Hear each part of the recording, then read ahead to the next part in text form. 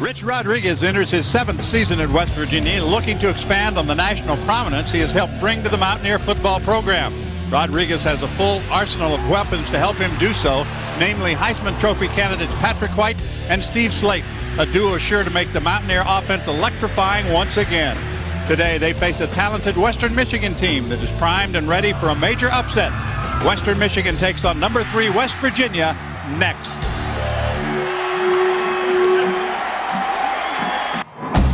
60,000 sun-drenched fans are filling up Mountaineer Field in Morgantown, West Virginia for the start of the college football season. The Mountaineers, ranked number three, will saddle up against the Broncos of Western Michigan on a beautiful afternoon here in the hills of West Virginia. I'm John Sanders, along with Renee Nadeau, number three in the country going in, highest ranking they've ever had in preseason, but certainly well-deserved. Imitation is the greatest form of flattery, and coaches from coast to coast at every level are trying to duplicate this spread option offense. And what makes it even faster, he runs it from the no huddle.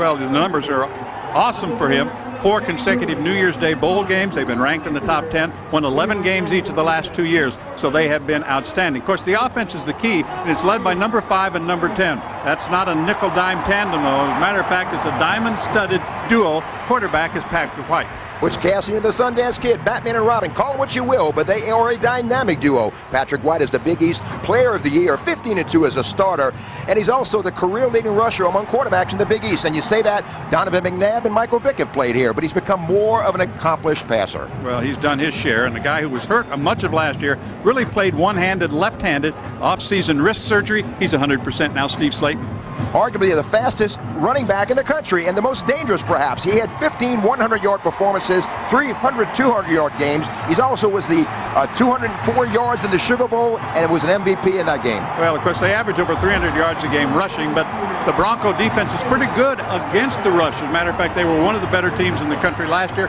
Won eight games, beat Virginia, played tough against Florida State and Cincinnati, so they're pretty good. The 11th ranked defense in the entire country, 46 sacks, 22 interceptions. They've done a great job. Bill Cubit took this team over 1 and 10 in 2004, 15 and 9 since then. And the defensive back is Louis Delmas. He had four of those interceptions. He's a real speed burner back there defensively. From Miami Beach, and Bill Miller knows him pretty well. 4-5 speed. He plays free safety, John, but he can play cornerback with the speed he has. You have to scheme offensively when you play against him. And he talked about the kind of abilities he has. Ed Reed and Reggie Nelson, that's the kind of talent he has. Well, we'll see what he can do against that outstanding West Virginia offense. The Mountaineers set to open their chase for a national championship.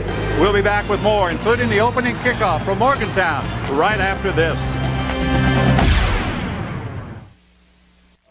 Prior to the football game, walking over here, and his Tom Tomzik is the referee.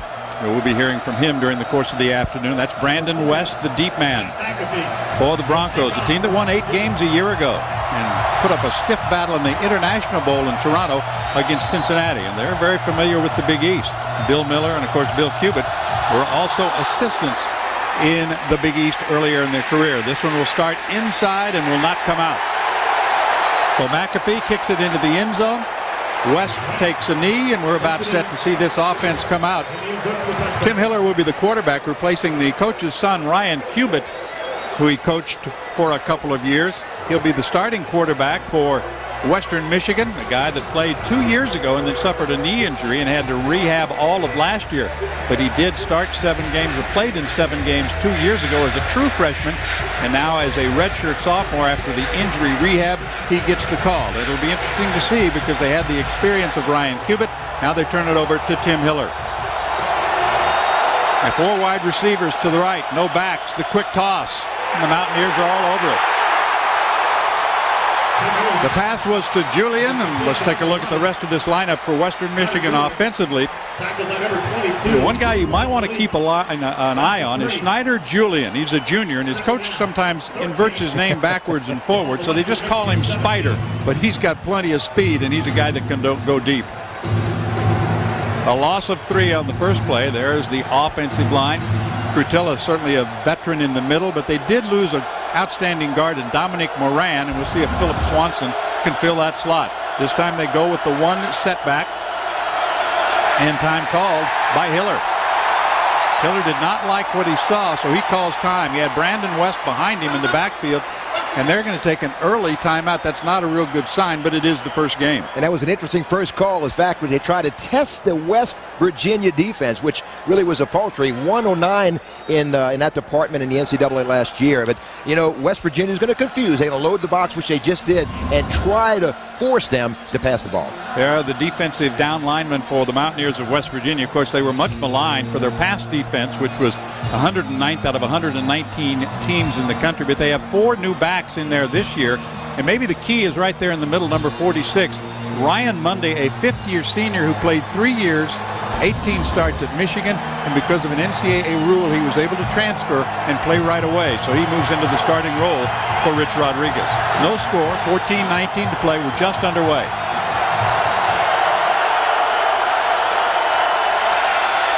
Second down and 13. On the option, the toss comes to West, and he'll get back to the 15, and that's it. Ryan Monday, the young man we just talked about, led the charge defensively for West Virginia. They'll lose two more, and it goes back to the 15. It'll be third down and 15. And the coach, Bill Cubit, in his third year, you mentioned, Renee, what a great job he's done. He was a longtime assistant. One time was an assistant at Western Michigan. He also was an assistant at Rutgers, so he's familiar with West Virginia and this stadium and the Big East. And he came here as the offensive coordinator for Rutgers in 2001, and West Virginia laid an 80 to 7 win on him. I think you remember that one. Absolutely, you would, wouldn't you? Just about two and a half minutes gone out of the shotgun. Hiller rolling right, looking, still looking, throws, and he's going to overthrow everybody. Nobody open. It was intended for Julian, but good coverage downfield, so it's three and out for the visitors, the Broncos. And this, I think, is one of the things they feared coming in, Renee, is that they would get in trouble early and the Mountaineers might strike quickly. That's one thing they're going to try to avoid under Bill Miller. I think West Virginia won the first battle on defense. They confused, they loaded the box, and Hiller, who was the MAC freshman of the year, pretty cerebral guy, a 4.0 GPA, uh, really didn't see what he liked there, and, and uh, West Virginia wins the first battle. Now we're getting pretty good field position. Vaughn Rivers will be back to receive the punt of Jim Laney, and it gets it away from about the five-yard line. Devon Rivers backpedals inside the 30, cuts to his left at the 40, and he's nailed as he gets to about the 40-yard line, and that's where the Mountaineers will have it. Pretty good field position. 56-yard punt, a good punt, an 11-yard return, and there is Pat White. What a great job he has done in his time here in Morgantown. He is a redshirt junior, and he is Mr. Do Everything.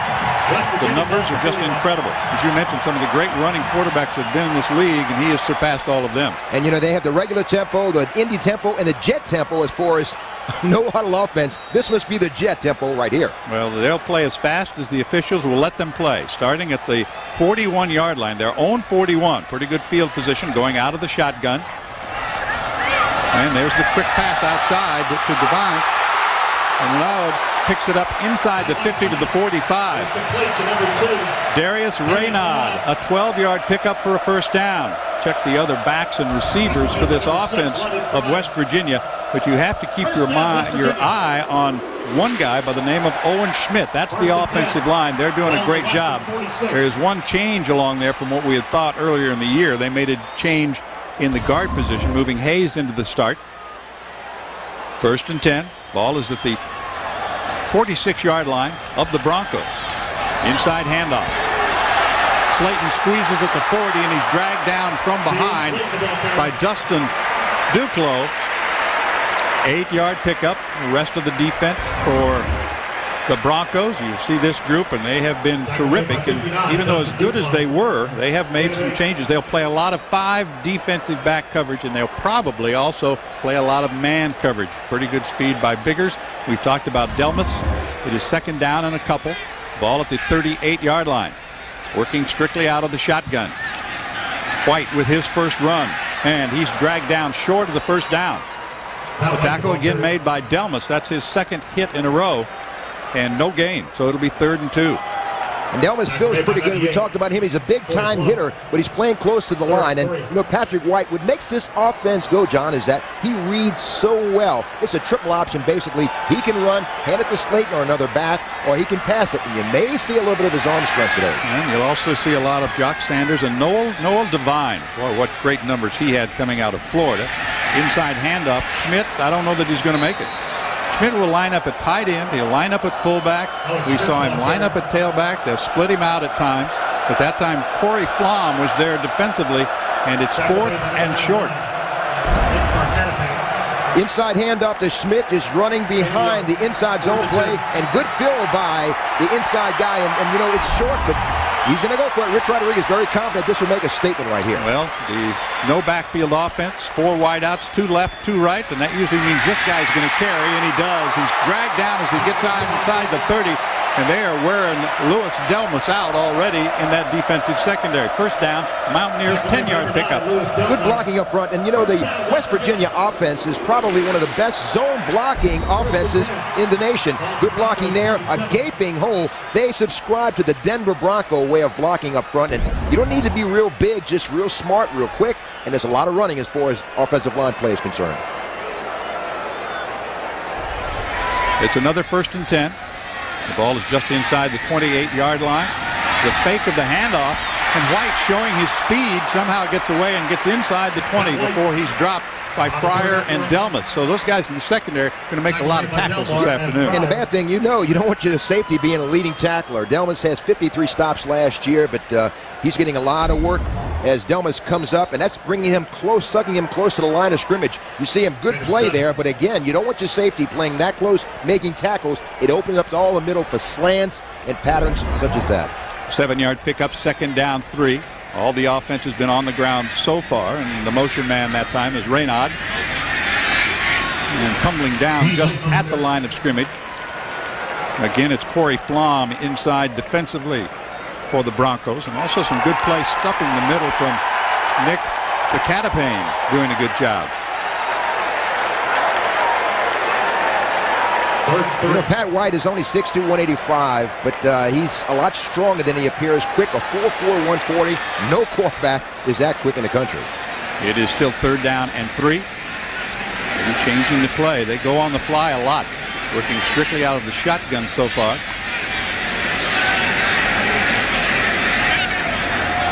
This is going to be the first pass, and it's a dandy. Touchdown, West Virginia. Making the catch is Dorrell Jalloh. Great slant route, and he was wide open over the middle. And we talked about that when you get your safeties up close to the line. They've been sucking them up. Delmas has been playing close to the line They open up the middle. The corner cannot cover that slant pattern, and that was really set up well. 20-yard touchdown play. Patrick White, good pass protection, just throws it right where it needs. Great separation from the cornerback. Steven did the best he could, but Jalloh with the touchdown catch. Early score here, 9.35 in the first quarter. McAfee for the extra point out of the hold of Jeremy Cash. Long snappers Adam Hughes. He puts it up and he puts it through. So West Virginia scores quickly on their first possession. And that's another thing that the Western Michigan coaches were worried about. Would they score quickly? They certainly did. 59 yards, eight plays, 341 on the clock. And West Virginia on the touchdown pass takes the lead over Western Michigan. And welcome back. West Virginia with an opening drive. Eight plays, 59 yards. And you can see Patrick White has set this up with the running play and sucking up the free safety. And Now it opens up the slant pattern wide open to Jalloh for the score at uh, the 9.35 mark. West Virginia on the scoreboard leading 7-0 over Western Michigan. And officially a 19-yard touchdown pass. So once again, it'll be Pat McAfee to kick off. And Brandon West is the deep man. West handled the opening kickoff but did not bring it out because McAfee put it about three yards deep in the end zone. So the kind of start the 60,000 dressed in old gold and blue wanted to see.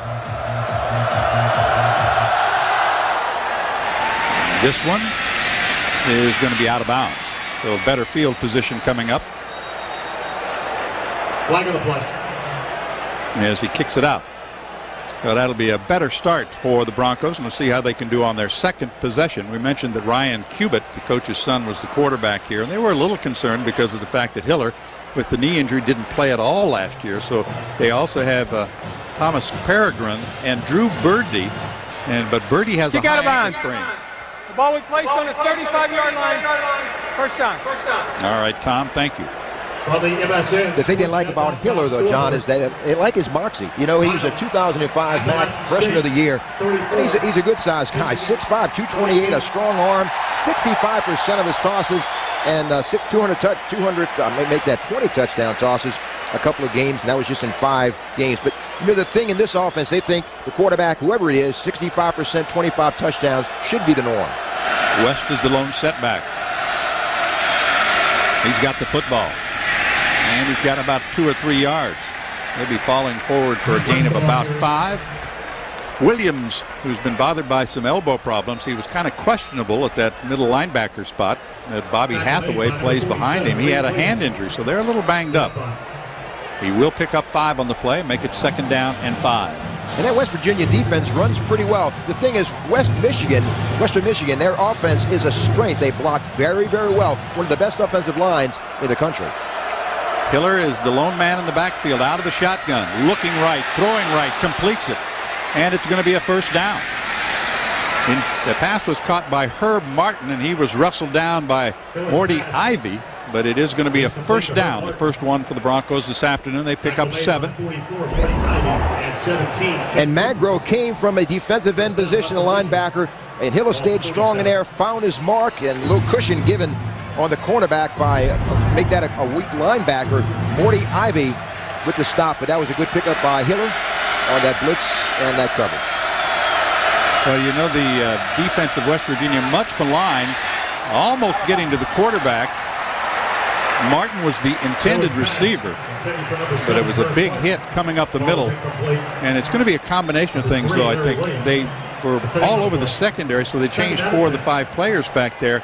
But you still got to get help from the guys up front to make it happen. Yeah, and, and that's the thing is they didn't have any kind of pass rush. So, you know, Rich Rodriguez talked about they're going to disguise things. You may see a three-man front, sometimes a four-man front, but uh, they're going to move guys around. And again, they run so well, but they were rated so low in pass defense that they had to make some improvements, and I think they have the people to do that. And that's the inside handoff to Glenn Thomas, and Thomas will get to about the 50. He'll pick up a couple, and that is all, giving three on the play. You see the clock at 8.26 to play, nearing the midway point of the first quarter. Mountaineers have had the ball once, and they have scored on that possession. Gain of three. Johnny Holmes checking in as they change some of those defensive backs. They'll bring in an extra defensive backs, obviously, now that they're in a certain passing situation of third down and eight. And this is what the Broncos do not want to find themselves in third and long. They're really their bread and butter is the running. And when they have to pass the ball, and West Virginia knows you, you'd expect a blitz here, and you see how Hiller reacts to it. Hiller going up, maybe changing the count at the line of scrimmage. Mountaineer fans trying to make some noise. Gets the pass away. It's almost intercepted. Almost intercepted that time by Wicks. Eric Wicks, number 41, almost picked that one off, and he would have been gone. Hiller throwing into zone coverage, and Wicks steps right in front. I think Hiller just forced this ball a little low trajectory. He's lucky they went kicking the extra point, but Wicks, I don't think he saw Wicks. He saw the receiver open for a second, waited a little too long, and, and just tried to, to hurry the throw. 39. Remaining on- Tim Laney will punt. Vaughn Rivers is back again for the Mountaineers, this time back near his 10-yard line. So one first down on that possession. Very nice kick.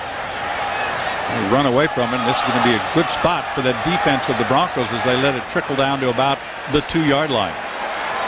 48-yard kick, no return, obviously.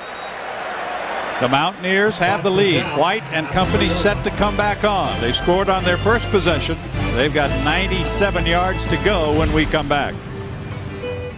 Mountaineers will take on Marshall. All smiles so far on a sunny Saturday in Morgantown. Mountaineers lead it 7 to nothing.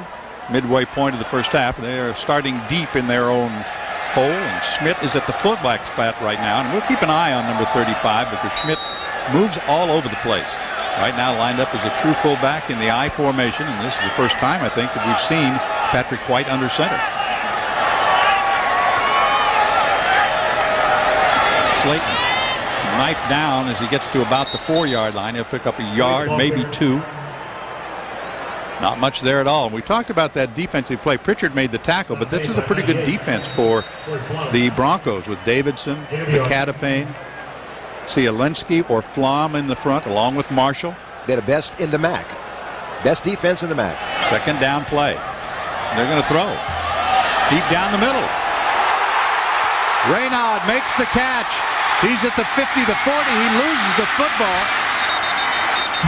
Biggers picks it up, and it's going to go over to the Broncos. So a great play ends with a turnover by West Virginia. Covered by number one. Great read by Pat White. Saw Reynaud got beyond the, coverage, and, and the, safety cannot allow him to get behind there. Step back in good protection. Reynaud just got behind the cornerback. No safety there to help. And he's off to the races until someone strips the ball. Biggers comes up with it. Good strip there by C.J. Wilson. And Biggers comes up with it. Big play as Wilson finds his mark. Reynaud, as the free safety made a, a play for it, but just cannot allow any wide receiver to get behind you. And they're lucky they get the ball here. But Western Michigan defense comes up with a big, huge play and now have pretty good field position, dodge a bullet. Let's see what they can do with it on their third possession of the first half. It wipes out a 58-yard pass play that would have put the Mountaineers in good field position. A little flea flicker action here, wide open to making the catch down the middle. So that's a good pickup there for the Broncos. They hit number 27, Jamarco Simmons. And Jamarco Simmons is a guy, you know, he's he causes some mismatches with some great size, 6'2", 234, 61 grabs last year. But this flea flicker kind of confused West Virginia just a little bit, allowed Simmons to come unattended on a crossing pattern. Doesn't in the fastest guy, but very effective. He moves those chains. Well, they get it inside the 35 to the 34, a 31-yard gain, and this time it's West on the sweep trying to get outside. Knife down as he gets to the 27. Williams in there to lead the way, along with Rivers. Tackled by 47. Seven yards, though, on the carry. And they're beginning to move it a little better off on offense. Kind of a slow start as they were three and out in their first possession. Probably some of those opening game big crowd jitters, you know? And I think their last two plays, John, were very confidence-boosting plays to the West West Michigan uh, offense because the play to Simmons and now this running play. And we talked about the offensive line blocked so well, kind of screened off and allowed the running back to get to the outside for a nice game. Just over six minutes to play. Hiller is under center. And the quick out pass once again to DeMarco Simmons. He is ridden out of bounds along that near sideline. Ivy did the job defensively, but it's an eight-yard pickup. And they continue to march deep into West Virginia territory. And you know, you look back, Renee, at all the points the Mountaineers gave up the last six games of the season. That is certainly a concern for this coaching staff. Yeah, and, and it didn't end on a good note, although the bowl game was successful. But the last part of the season, the defense gave up a ton of points. Uh, and, and, right now, West Virginia, Western Michigan is moving down with a lot of confidence.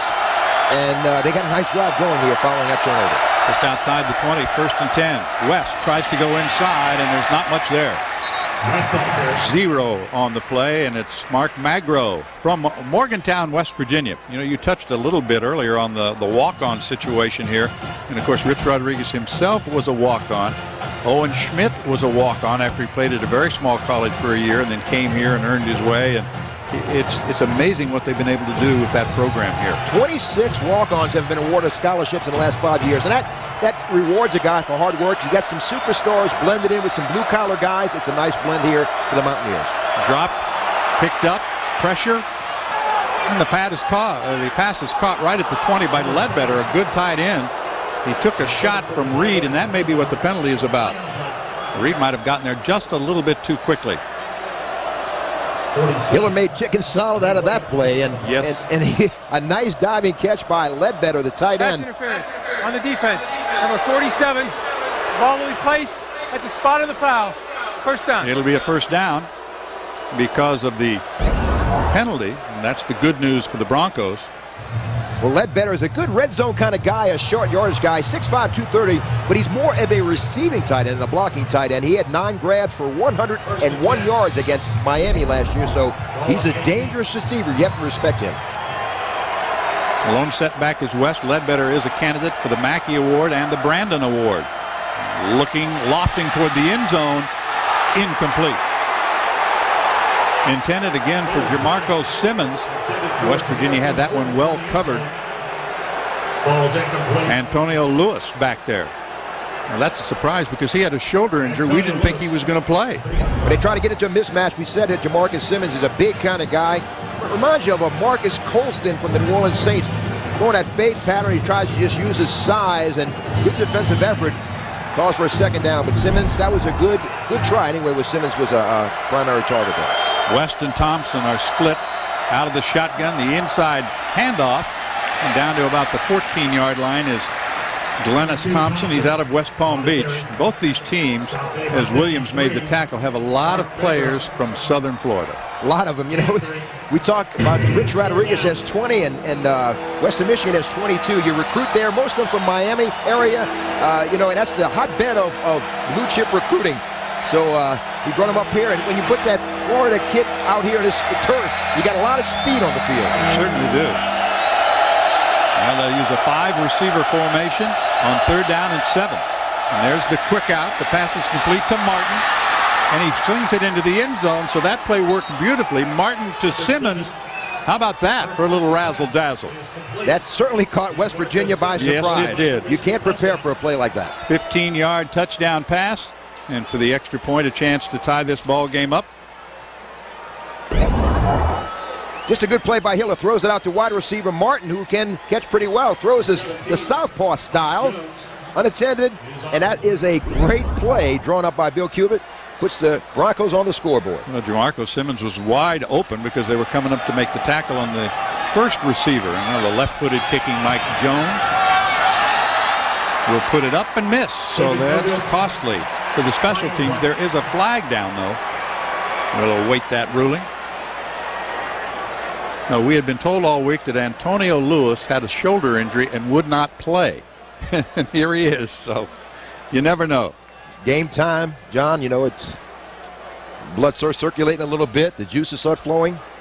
Legal block. Legal block. 97. On the defense. Half the distance to the goal. We play the try. Well, a costly penalty to the Mountaineers there after the miss of the extra point. 96. Well, that's the call. The illegal block called on Colleen Dykes. And give him another chance at it. So Mike Jones will get a second crack at it. Jim Laney, the holder. Tom Harrington is the snapper.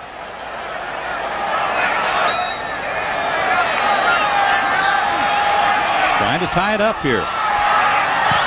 Late in the first quarter. And he just does.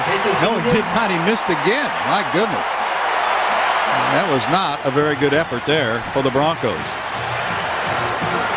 So it's a 7-6 game. The Broncos get on the board with 4.12 remaining here in the opening quarter of play. Little razzle-dazzle by the Broncos gets them on the board and back in the football game. We'll be back as well. Little Bronco razzle-dazzle with 4.12 to play. They get on the scoreboard and not in the normal way, Renee. Hiller to Martin to Simmons, and Martin, uh, normally a wide receiver, sucked everyone in with that pass from Hiller. And uh, uh, Jamarco Simmons accepts the pass from Martin for the touchdown. Little trickery, if you will, but uh, extra point was not good. So uh, Western Michigan finds himself in a one-point deficit. Well, the first quarter has usually been a quarter in which the Mountaineers have dominated. They outscored the opposition 111 to 51 in the first quarter last year. Of course, a lot of times they did have to fight their way back, as they did in the bowl game. 17. Well, you know, It'll be Mike Jones to kick off. Kick off. keep in mind too that uh, that defense gave up a lot of points, and uh, you know so right now the defense is doing pretty solid overall for the West Western. I'm very impressed with West Virginia's defense thus far. Reynard Rivers, the deep man. And it's going to be a short kick taken at the 30-yard line by Rivers. A little room outside as he gets across the 40, goes out of bounds about the 42-yard line, a 16-yard return. Vaughn Rivers on the We'll see if the Broncos can continue what has been a pretty good defensive show. Of course, they got a break in that fumble after that 59-yard pass play completion. Looked like the Mountaineers might be driving again, and that changed things around. But to their credit, then they took that ball and took it in for a touchdown. Exactly right. They capitalize on opportunities, and that's what this game is going to be all about for Western Michigan. You have to capitalize on opportunities. Your special teams, which is a vital part of this game, is got to be solid. And uh, right now, eh, West West Virginia is starting in pretty good field position. You know, cutting the field almost in half. at the 42-yard line. Slaton and White in the backfield. White with the quick out pass to Reynaud. Very close to a first down. Good running, but a flag comes in. Might be a hold there. Pritchard made the tackle, but we'll see what the officials say they saw. Reynaud with a good job and a nice spin move in there, but somebody was holding, I think. Bubble screen, which is a dangerous play. You know, they look at Pat White and Slaton and Reynaud. They think they're the most dangerous trio speed-wise in the country. Well, certainly they have a a wealth of Holding. talent. Number 12 in the offense. 10 yard penalty. Replay first down. So Nate Sowers was the guilty party, holding, trying to advance him out. He was very close to a first down, and now that's going to be wiped out as the ball will come all the way back. And Owen Schmidt will check in at fullback. Sowers also coming back in the lineup. Schmidt comes out now. Sowers is back in. Eight yards on the pass play, but wiped out by the penalty. And the Broncos are trying to change on the fly. That's tough to do. Good camera work there. Got the penalty. Well, he does get off. No, he did not. The flag goes off. Now, I don't know whether it's for that or for the delay of game. Bergeis was trying to get off the field. And now the officials will huddle and talk it over. Legal substitution on the defense. Five yards from the previous spot. Remains first down. And I think that's what the, that hurry up offense sometimes can do to you. Yeah, and you know we talked about the jet. It could be either a uh, uh, you know a regular tempo, which is they call it a regular tempo, Indy, Indy tempo, John, which is kind of in the middle, and the jet, which is you know full bore ahead, and So you've got a regular car, you've got an Indy car, and then you've got a jet. that's that's about it. And they run the jet once in a while and catch you off guard, and that's what worked last time. White with it. Gets away from one tackler, gets away from another. Fights his way forward close to a first down. Austin Pritchard made the tackle for the Broncos. But White showing his ability. Stop made by 35, Austin Pritchard. Picks up eight on the play. Pritchard the tackle. Fake that inside handoff.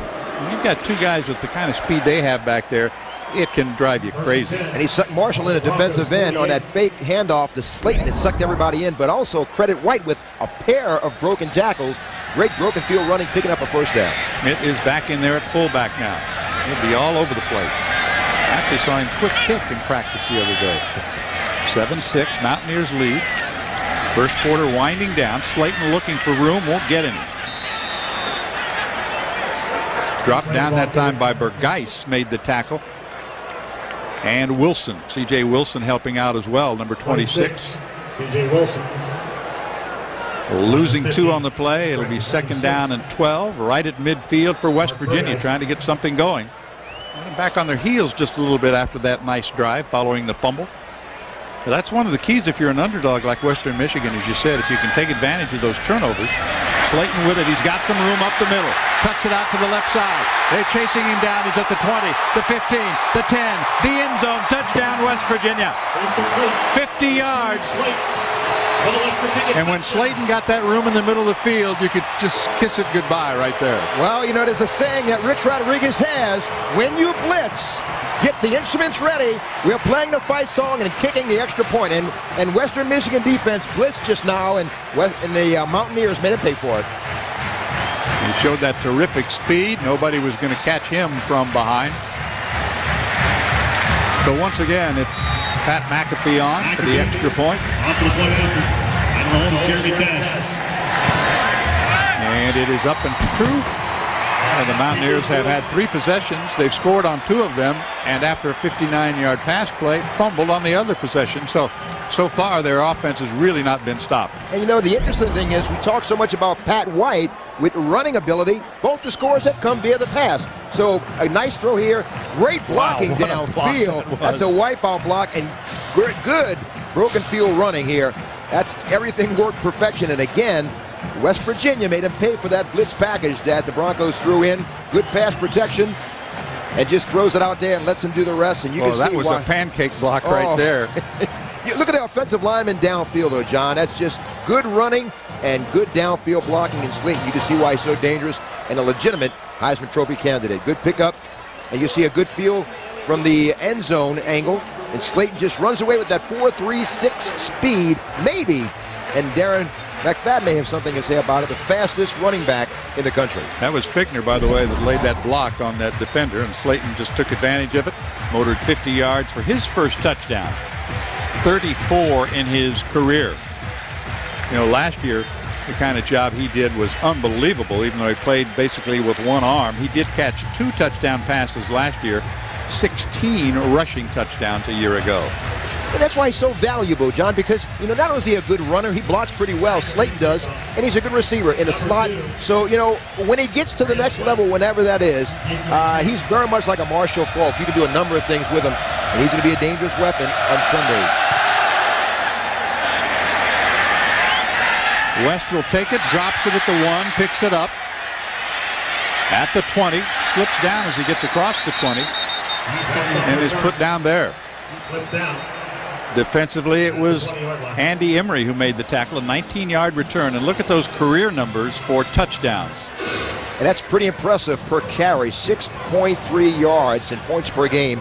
So he's automatic points when he gets his hands on the ball. He can do so much with him, either receiving or running with the ball. And again, he blocks pretty well, and he's a very durable guy. Plays Well, and that's also, you talk about him with the good arms now. Last year played the entire season basically with one arm. He could only carry the ball in his left hand, which was his offhand. Right. So to me, that's got to make him even more difficult because he can go either arm now that that wrist surgery was successful. And he can use the arm to block. He can switch hands and protect it. So West is the lone back, fake the inside handoff. Hiller has some time.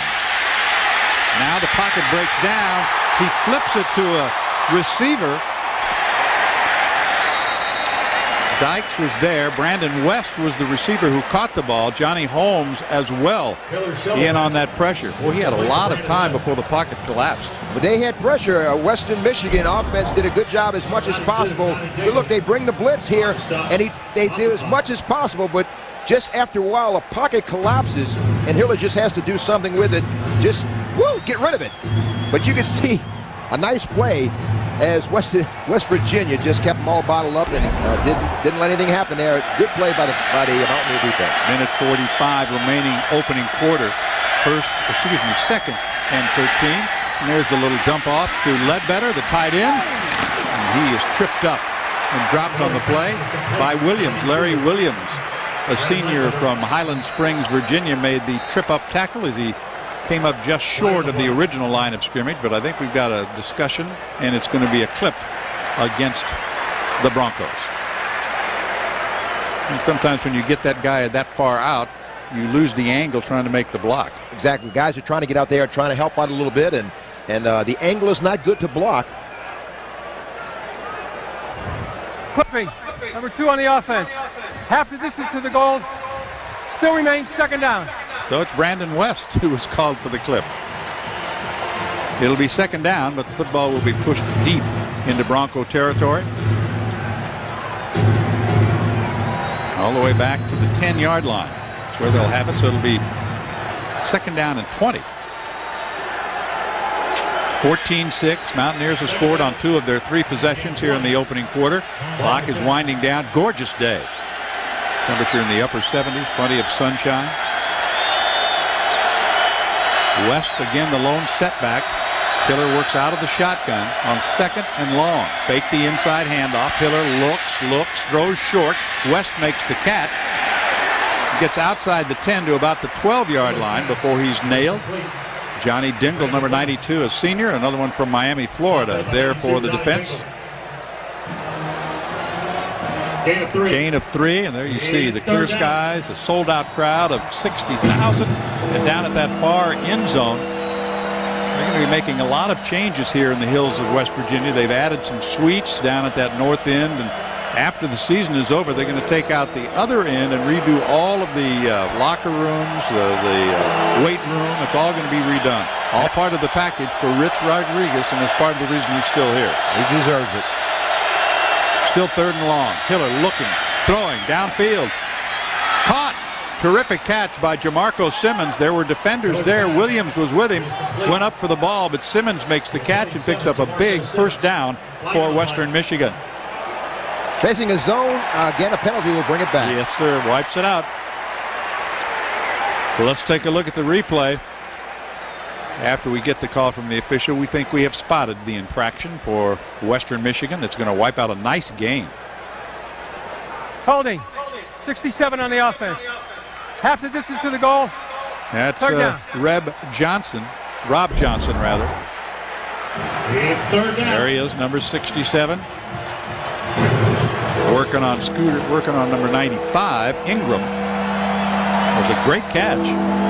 26-yard pass play is wiped out. Now the ball's back at the seven-yard line again. You see how Jamarco Simmons finds gaps in that zone defense. And, you know, he's not the fastest, but very, very effective. 61 grabs, 688 yards last year. Vince Thompson is the running back. And that's West. He's wrapped up quickly. He got back to about the line of scrimmage, maybe another yard or two before Mark Magro, the senior from Morgantown, made the tackle, and that's going to end the first quarter of play. Mountaineers have the lead after the first 15 minutes. All on pass plays. The last one was a 50-yarder. Great job. There's the slant for the first touchdown. They got another one later. They lead it 14 to 6 as we head to the second quarter in Morgantown. Quarter is underway. A little bit of a line drive kick. He'll field it at the 48 and right up the middle. And be brought down near the 42-yard line. Tackle on the play by London Fryar. And yes, that is Irving Fryar. He was a starter last year, but is not starting so far this year. But Fryar made the tackle on the special team. 45-yard punt, 11-yard return, and another flag on the field. I think that's to be expected maybe in these early games, you know? Well, you know, it is, and it's a shame. You know, the thing is, Western Michigan at kickoff and uh, special teams really is the number one special teams in the MAC. But, uh, you know, you're going to have these Nice kind of plays like this. Five yards on the kicking team. First down. Opening game, there's no exhibition football in college football, so you're going to have things like this happen. But, uh, you know, it's. Um, you don't mind a penalty that's over aggressive or trying somebody's working hard, but carelessness or, or things like that. That's that's something that First could. and 10. They come out ready to go. Slaton, Sowers is in there, number 12. Reynaud. You've got four wideouts in this formation working out of the gun, and they didn't huddle when they came on the field. We never see them huddle except on the sidelines. That's about the only time. Now White looks over at his bench.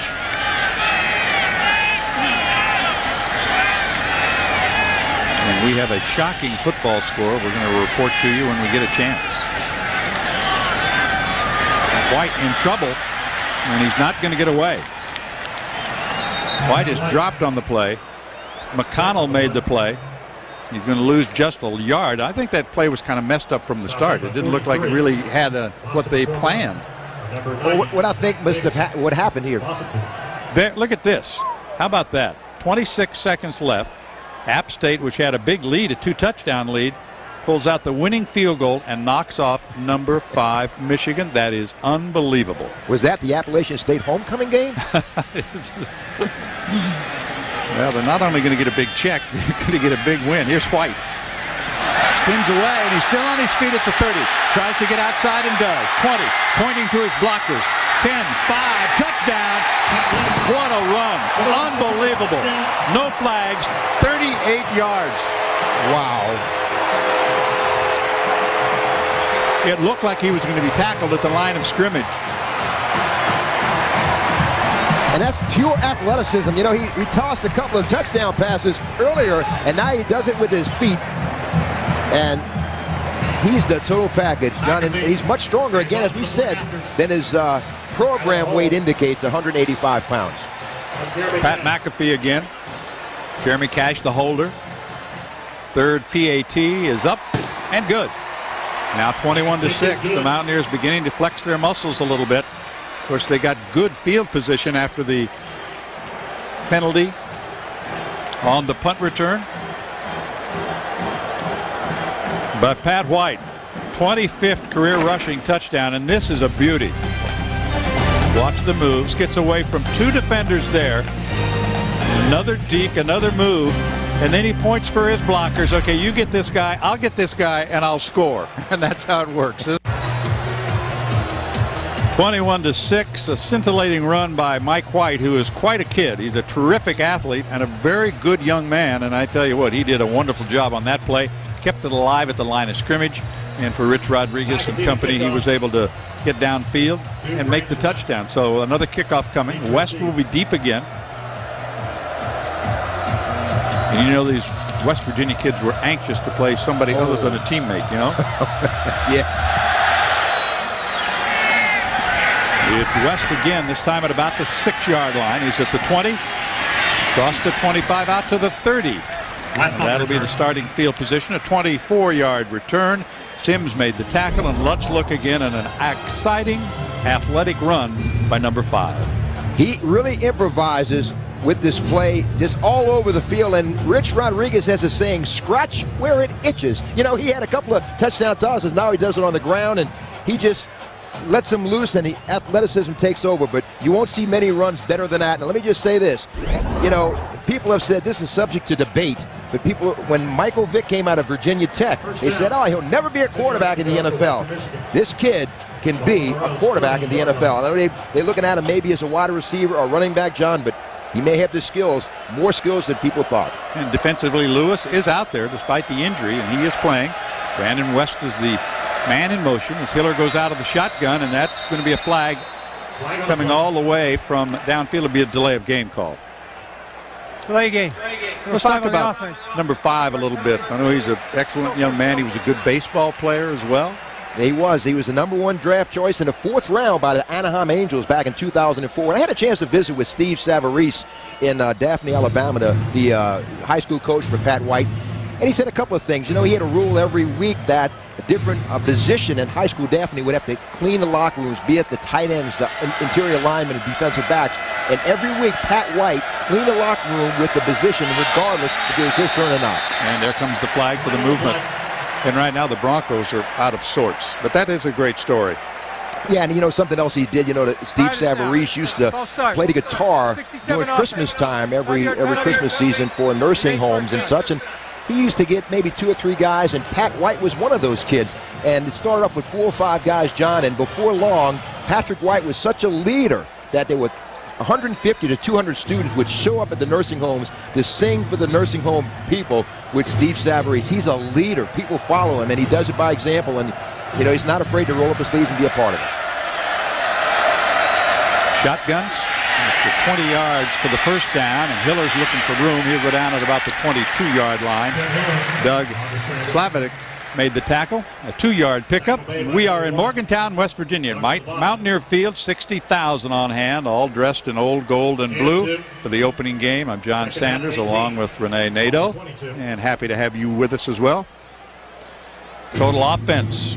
West Virginia has been able to move the ball every time they've had it, a total of 221 yards. And rushing wise, that total is not as much as you would expect because this is a team that averaged 300 yards a game on the ground last year. Second down, still long, pass is complete. At the 35 yard line, Jamarco Simmons, who's their top receiver, makes the catch. And Ryan Mundy, the transfer from Michigan, made the tackle, a gain of 13. It'll be third down and about five. The thing just now about Hiller, he stood uh, strong in the pocket, and uh, the offensive line picked up the blitz, did a good job of delivering the ball to Simmons, and picked up a nice, uh, nice throw in second down. Picked up 13 yards on that play. He'll still go from the gun because it's third down and five. Hiller looks, throws. That one is intercepted at the 40. The Mountaineers have picked it off. It was Lewis, number six. We didn't even think he was going to play, and he comes up with an interception, a turnover, and that'll give the Mountaineers great field position at the 40 of the Broncos.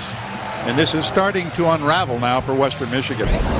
And Hiller is not a guy that throws a lot of interceptions. He only had three interceptions in 2005. But he's look, he's he's not setting his feet. That rush is getting to him, and I think he's a little confused by the defense that the Mountaineers are throwing at him right now. And and Hiller is just not setting up. He's he's uh, has an ear, if you will, and listening the way that rush is coming from, and he's just not, uh, you know, feel comfortable in the pocket right now. Three wide receiver formation. Slaton and White in the backfield. Schmitt at the tight end.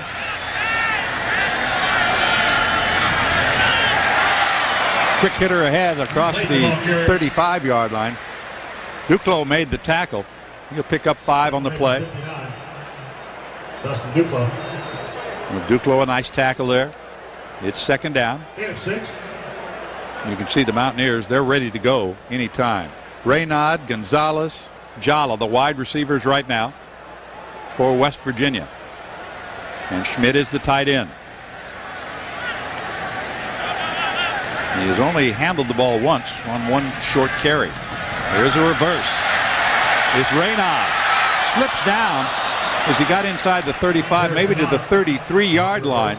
There to cover him up was C.J. Wilson, a redshirt junior from Chicago. Uh, just a yard on the play, and it'll be still third down. You can't see it right here, but they're playing combo coverage. They're playing man up on one side and zone on the other. Good block by Pat White. And his feet, Reynaud's feet just slide from underneath him. But they strung that play out pretty good. Came up and filled and uh, kept him short of a first down territory. Schmitt is the fullback. Four wideouts in the formation. We have yet to see much of Jock Sanders or Noel Devine. And White is not going to get there. Ripped down as he tried to get inside. Cielinski. Cody Cielinski, number 68, made the tackle. And of course, you know the faithful want him to go for it. You know, Cielinski, 6'2", 257. That's his program weight, so usually they fudge a little bit, but he's an interior lineman playing against some big guys up front, so Cielinski is one of the better defensive linemen for the Broncos. Steve Slaton moves out to wide receiver. Schmitt is still a tight end. A four receiver formation for the Mountaineers as they go for it on fourth down. Second time they've gone for it on fourth. And that would hit Jalloh basically right in the head. Pat White's pass intended for 21. Well, White just delivered that ball. It was a crossing pattern. One receiver went in. Jalloh came on a slant, and I think he was just not expecting the ball right I there. I don't think you're. I think you're right. I don't think he was expecting it. Quickly, White just three-step drop and delivers the ball, and Jalloh, Boom. He just didn't see it. Maybe came out of the sunlight. Who knows? Well, it's the first time they've been stopped by the defense. The other time they were stopped, they turned it over. And the first incompletion for Pat White. He had thrown two touchdown passes in the ball game. Well, the Broncos will get it back at their own 33-yard line. Brandon West, the running back, smothered at the line of scrimmage. Not much there at all defensively. Mortty Ivy, and what they'll do sometimes, they'll bring these backs up into tight positions along that line a lot. Yeah, they will employ a, uh, you know, they play a 3-3 stack, 3-3-5, but sometimes they'll bring Magro, uh, a linebacker. They'll even bring a safety in. You know, they play with a free safety, a bandit, and a spur. And a spur safety is basically a monster back or outside linebacker, and they can move them around. Very, very good defensive scheme. Hiller on second down 10. Throws out into the flat. The pass is caught. Once again, it's Jamarco Simmons, the junior from Michigan. He is their number one receiver. He's going to get about four on the play. 22. We're inside the 10 minute mark. Time left in the opening half. Mountaineers have scored on three of five possessions thus far. Two touchdown passes for White and one touchdown run for Patrick. Third and six. Third down, six. West is the setback. Man in motion. Martin and Simmons are the wideouts. Hiller throws downfield. Pass is caught for a first down. Making the catch is Martin. In front of Lewis. And that'll be a first down. They get it very close to Mountaineer territory. They'll spot it at the 49 yard line. 11 yard pickup. And Hiller with good protection. Eight in the box. Come right at him, but an out route First proved successful as Martin with uh, 30 grabs last year for 365 yards and a big catch for a first down for the Broncos. Slavonic, Merlo, and Ingram are the defensive linebackers for Western Michigan. West and Thompson in there together right now. That's West with it, and he'll get to midfield and be ridden down on the play. Not much at all there. Maybe got inside the 50. West, 5'10", 169 pound sophomore from Brunswick, Georgia. Last year rushed for 633 yards. Number 91, Doug Slavonic. But he had a good International Bowl game, 109 yards and a touchdown against Cincinnati, 117 yards and a score against Central Michigan on 22 carries, only 169 yards, pretty durable. Ball just inside the 50. Here comes the sweep to West. He's drilled as he gets to about the 46 yard line, and it's Mark Magro West on the making the hit. Only a couple yards on the play. Tackle by 53. Broncos trying to get a drive going here at the midway point of the second quarter and see if they can get on the board. They use some razzle dazzle It's third down. to get their only touchdown. This West Virginia defense, John, runs pretty good. You see him sideline to sideline. It's tough to outrun him. Sometimes you, you know, what do you do? Get a reverse or you run against the grain, but it's tough to outrun him to the sideline. This is a five receiver formation now for the Broncos. The preseason pick in the MAC. Hiller guns it. What a catch for a first down. He was lying on the ground when he made the play. And that is Jordan White, number 83 from North Ridgeville, Ohio. That's quite a grab right there. He's uh, he's dangerous in the open field, and I'm not a big guy, 6 feet 206, but a nice catch here, and, and Hiller recognizes that. You see right away he goes to a second read. That's a second read right there throw. Nice throw and catch. You know, the thing about this West Virginia defense is they allow you one read, maybe two reads, but after that, you better get rid of the ball quickly, and that was a good adjustment by Hiller. West is the lone setback. Martin and Simmons are the wideouts. And did they take too much time again? Flag on. Yes, they did. And that will not make the head coach the happy, will it? Five-yard penalty. Remains first down. Well, you know, Cubit was pretty upset about that. I think, you know, he may be checking out because of the movement and the things that West Virginia is employing right now. And, and I think that may be causing, because, you know, when they change the plays, the offensive scheme changes and uh, the offensive line calls change, and that may be causing them to use too much time. Yeah, the back judge, Paul Vargo, is the one who made the call. They go with a double tight end now. Ledbetter and Schultz are both out there. There's the quick handoff to the reverse man. That's Jamarco Simmons. And he is tackled for a loss.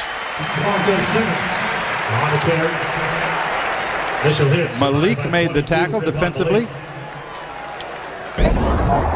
Loss of three. Good handoff, and Loss of three. it looked like it was developing, but Malik on the ground makes the stop. That's extra effort. Ball to 47. Oh, I tell you, when you're on the ground, you make a tackle. That's that's really giving it everything you have.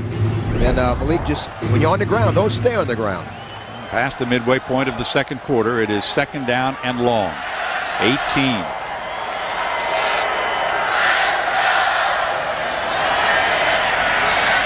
Hiller hit the pitch. The ball is loose. Mountaineers are going to have it. Williams makes the recovery. A little late on making the pitch was Hiller to West. And Williams recovers West Virginia. It's their second turnover of the opening half and will have the football about 37 yards away. That play was dead from the get-go. You see Hiller holding on to the ball, waits way too long to the ball, to the, the collapse on him, throws the ball. Wasn't a very good pitch behind the runner, and uh, West Virginia again with great field position, and Hiller just uh, poor decision and a poor execution on that pitch. First and 10. Ball to 37. So at the 37, the Mountaineers will have it, go out of the I formation. Schmitt is the fullback. Here's the pitch to Slaton. Trying to get to the corner, a flag down. Like maybe a face mask. Delmas made the tackle, but we'll check the call. 6.41 to play. Personal foul. Face mask. Number nine on the defense. 15-yard penalty. 15 yard. down. That's the major face mask on Delmas. So the breaks are not going the Broncos' way right now. There you see it. Wow. That's a face mask violation right there. That's Look a, at this. I mean, he's I guess use everything you can to get him to the ground, but that's uh, you're penalized for that. This is a third start in Western Michigan territory for the Mountaineers. Had a good field position, cutting the field in half for him. You know, but Delmas, good open field tackling in space. Talk about how good he is and what kind of prospects he may have for the future. Schmitt back at tight end. Reynaud. Gonzalez. Jalloh in there as the wideouts right now. As White works alone in the backfield. First down 10. Ball at the 22.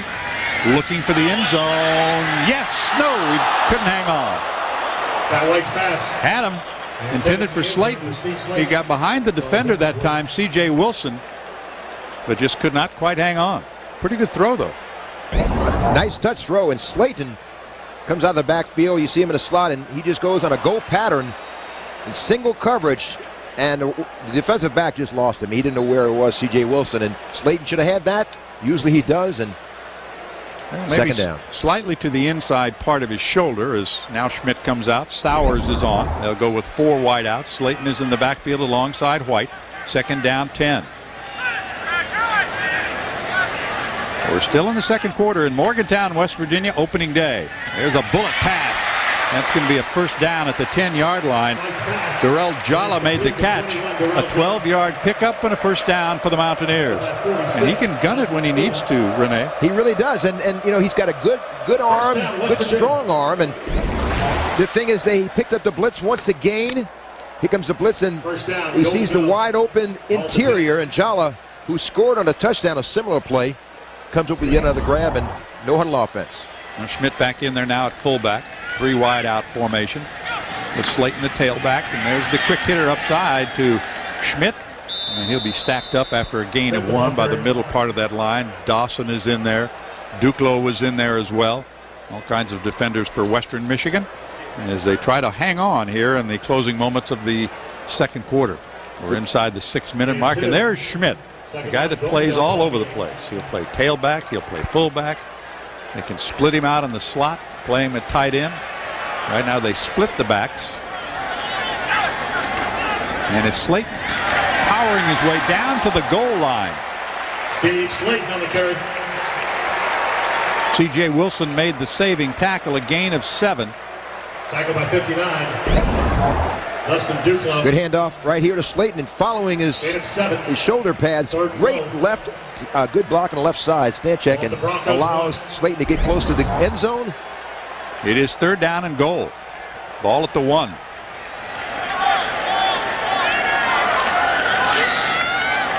Slaton, the only man in the backfield right now. And he'll get it, lean in, and score. Slaton, a one-yard touchdown run, expands the lead to 27 to six as he scores the touchdown.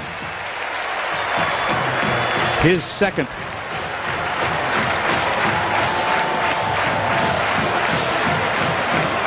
Good surge of the offensive line. Look, they come up the ball very well and allow that crease where he can get into the end zone. Had a little contact by the goal line, but good momentum going forward. And uh, Pat White, 92% in the red zone as a quarterback. And that's perfect on the extra point. So McAfee is four of four. The Mountaineers score their fourth touchdown, lead at 28 to six on opening day of college football. A gorgeous Saturday afternoon in Morgantown. Slaton needed a yard. He got the push from the big men up front and leans in. 28-6 West Virginia over Western Michigan. We'll be right back.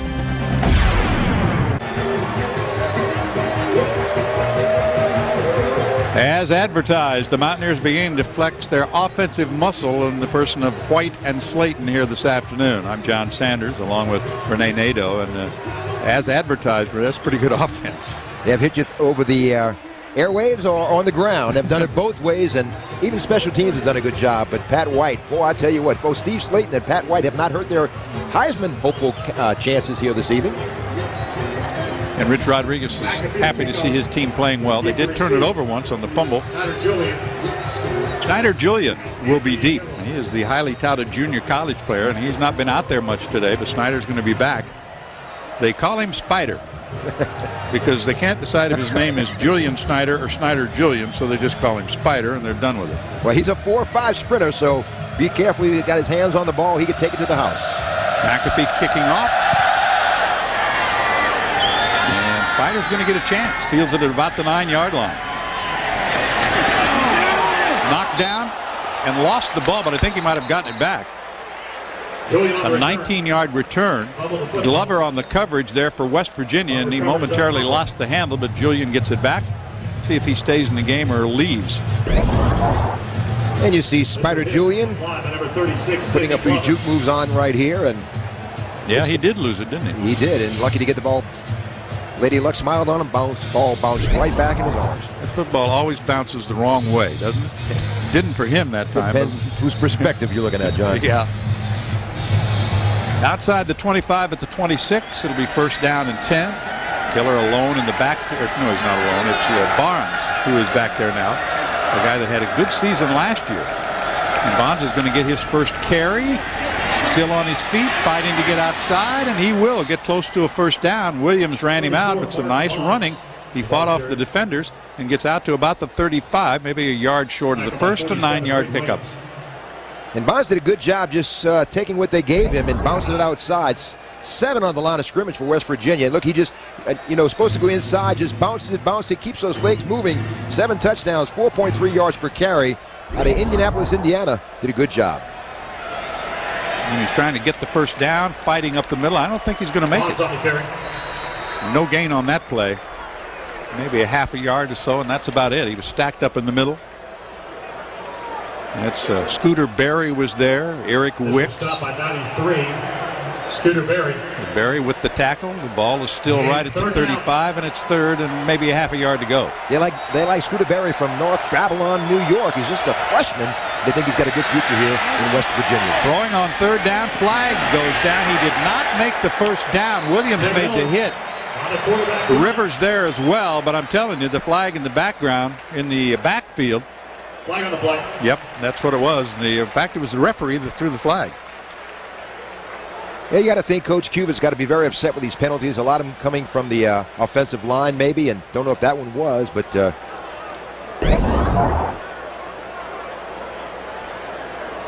So Hiller trying to make something happen, and the hole was on the right side of your screen. We yeah, can't see it. But you could see the referee, though, looking right at the play. Holding. He didn't make the first down offense. anyway. 10-yard penalty from the previous spot. Remains third down.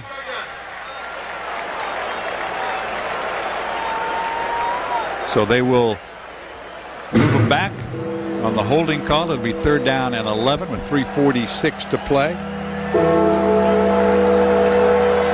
Nick Sad was called for the hold. Nick is a fullback who was in on that play. This is what West Virginia likes. They can pin their ears back. It's third and long, and, you know, they coming. They know who's going to pass. Four receivers. Bonds is the lone setback. Hiller out of the gun. Looking right down the middle, throws it down the middle. It's caught. Did he make the catch? Ledbetter, the excellent tight end, is going to pick up a big first down on third and 11. He'll move it out to about the 44-yard line, a gain of 18 yards on the play. And Ledbetter, highly touted tight end, and he has done nothing to disappoint. He's also another guy from South Florida. He's from Fort Lauderdale. Yeah, we talked about it. He had nine grabs for 101 yards against Miami. He finds the open crease in the zone defense. Credit Hiller with throwing right between the defenders, but uh, Ledbetter is definitely a receiving threat, more of a, of a run, receiving quarterback uh, tight end than a block. Hiller is in trouble now, and down he goes. Magro and Lewis. Lewis coming up out of that defensive backfield to apply the pressure. They'll get him for a loss of eight. And they come in a blitz. Hiller drops back before he knows it. West Virginia, West Virginia is all over him. Nowhere to go. He didn't know where they came from. Popped out of the ground. Uh, Magro said, "You're not going anywhere." Look at that, 18 plays, six total wow. yards, two turnovers in their last four drives. West is back in there as the setback. Hiller looks, throws, caught across midfield. Again, it's Ledbetter. He's going to be very close to a first down. Might have it. Depends on the spot. But Ledbetter, the big tight end, that's something that West Virginia doesn't really do very much. They don't throw to the tight end very much. Well, you know, he had 37 grabs last year for 423 yards, and that was a tight end at West Western Michigan a couple of years ago, Tony Scheffler, who was a second round draft choice of the Denver Broncos. He had 57 grabs in his offense, so he's uh, Brandon Ledbetter is very, very similar to, to Scheffler. Flag before the play from the 45 gets underway. It is a first and 10 for the Broncos. And Rich not happy down. right now with start. his defense, specifically offense. Lewis. Five-yard penalty. Remains first down. It's a five-yard penalty against the Broncos. Marched it back to midfield. Big statistical edge, obviously, for West Virginia in this football game. But the Broncos really have hurt themselves. Yeah, you know, and the thing is, they've done some good things, John. Uh, penalties have, have changed the way they approach. You know, when, you, when you're looking at first and 15 and you know, second and 15 or whatever changes the way you look things. And, and uh, they've moved the ball a little bit, but keep shooting themselves in the foot with penalties. Hiller completes the pass to Jamarco Simmons. He's got some room. Finally run out, forced out on the play by Derville. 27, Jamarco Simmons. Simmons with a big gain. Passing game is working pretty well, and it was really the Achilles heel for West Virginia a year ago. And you got a crossing pattern here with uh, Jamarco Simmons, and Hiller finds him wide open. We talked about he causes some mismatch problems. 6'2", 234. He's kind of lumbering a little bit, but, you know, he can get open. He had nine catches for 123 yards against Florida State. 13 catches, John, for 172 against Cincinnati in the bowl game. So he just knows how to get open. Martin, Julian, and Simmons are the wideouts. That throw is short, and it is caught by Simmons. Jamarco Simmons, the tackle, applied by Malik. Short gain on the play. But he's now completed seven straight passes, has Hiller, since that interception. He's in a rhythm right now, and he's feeling good. And, and you know, his safety valve is Simmons. And uh, last couple of times he's had ample time. Pressure hasn't gotten to him. He's had ample time to deliver the ball, and Simmons is, is starting to put up some serious numbers here for the Broncos. Going out of the shotgun this time is Hiller. West alongside. West turns into a blocker. That one is deflected. Scooter Berry, number 93, got a piece of that one. So with 126 to play, a 28 to 6 score. It's third We'll down. turn to third down. Juan Nunez was coming on a crossing pattern as a wide receiver for the Broncos, and that's what Hiller was looking for, and didn't get a chance to complete that pass. Seven. Ball 24. Ball is at the 24-yard line. And here's Hiller dropping back, trying to find a receiver wide open. He was looking for number 81, Nunez, and couldn't find his ball. A good block applied that time by West. And now West slips the block, catches the short pass, and is going to be stopped at the 20-yard line. Four-yard pickup on the play. Dingle and Mundy were there defensively, along with Johnny Holmes, the Mountaineers. You like to isolate this guy, West, and get him out in space. Not a big guy, 169, but he runs a 4.55 40. He's faster. You know, he's got that game speed, John, and, Timeout. and moves pretty Western well. and Michigan. Their You know, he's- He's been a, a big weapon for these Broncos here this evening. A second timeout taken by the Broncos here in the opening half. Archie Simmons coming back on for West Virginia defensively as they try to hold him right here. We have a minute and 15 seconds left to play. In the opening half, the Broncos trying to figure out a way to get on the board late. Mountaineers, number three, leading.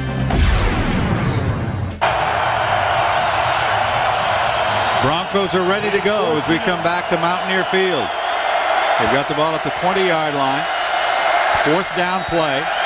Trying to put something together, keep this drive alive. The throw, the catch. Simmons has the first down. Archie Sims, number 42, a junior college transfer, was there on the coverage. But I'll tell you, this guy has turned out to be a top-notch receiver in this game this afternoon. Again, he reminds me of Marques Colston of the New Orleans Saints, who had a great rookie season last year. And you had a couple of routes right here. Simmons did an out route, and uh, Martin cleared for him, did a, did a go, and uh, Hiller had his choice. Eight passes for 103 yards caught already. Might set a record here for himself, personal record. It's first down at the 14-yard line. To the end zone. Almost picked off. It was in the hands of Reed Williams, and he could not hang on. And plenty of defenders back that time. They had like four of the blue shirts in the end zone and one receiver, and then the Mountaineers almost got their second interception. That big gust of wind just now, John, was a collective from the Western Michigan sideline. He threw into five blue jerseys, Wow. and he's lucky he didn't come up with an interception. Williams almost got that one, just over a minute to play.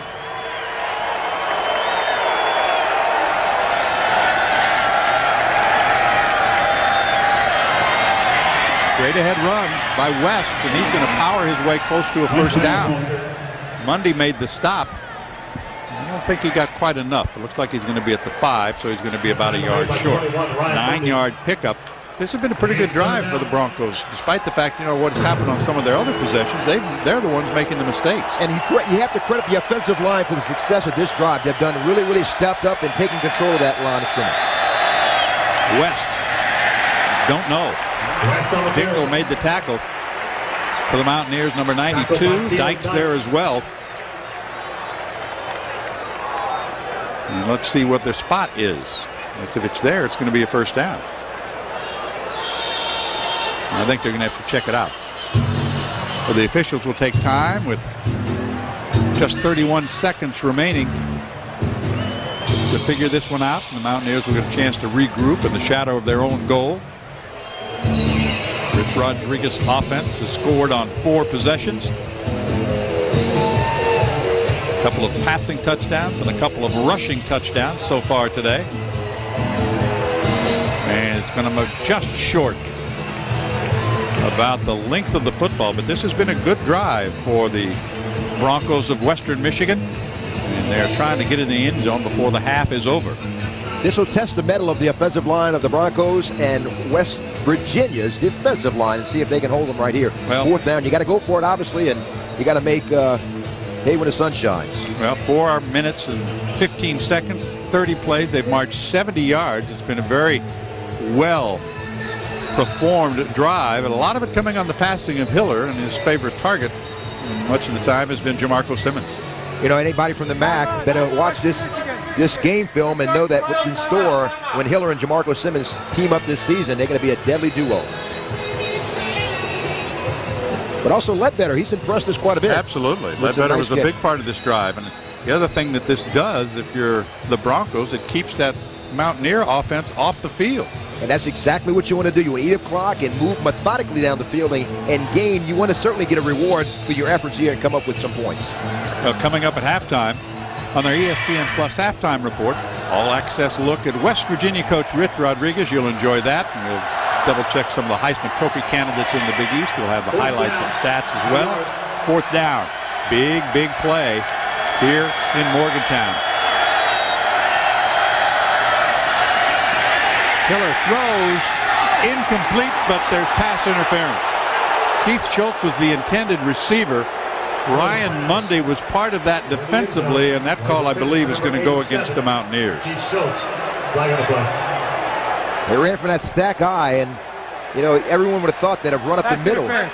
Number 21 on the defense. Ball will be placed at the two-yard line. First down. Well, the pass interference call against Ryan Mundy will set him up at the two. Take a look. It looked like they might get him. Some good pressure was being applied defensively by, Looks like Magro had him in yeah, his Magro arms. had him. First and goal. And, uh, you know, Mundy is a guy who had 18 starts for the Wolverines, uh, three Rose Bowl appearances, and he's been around the block quite a few times, a lot of experience, and he may have saved a touchdown, so they live to fight another day.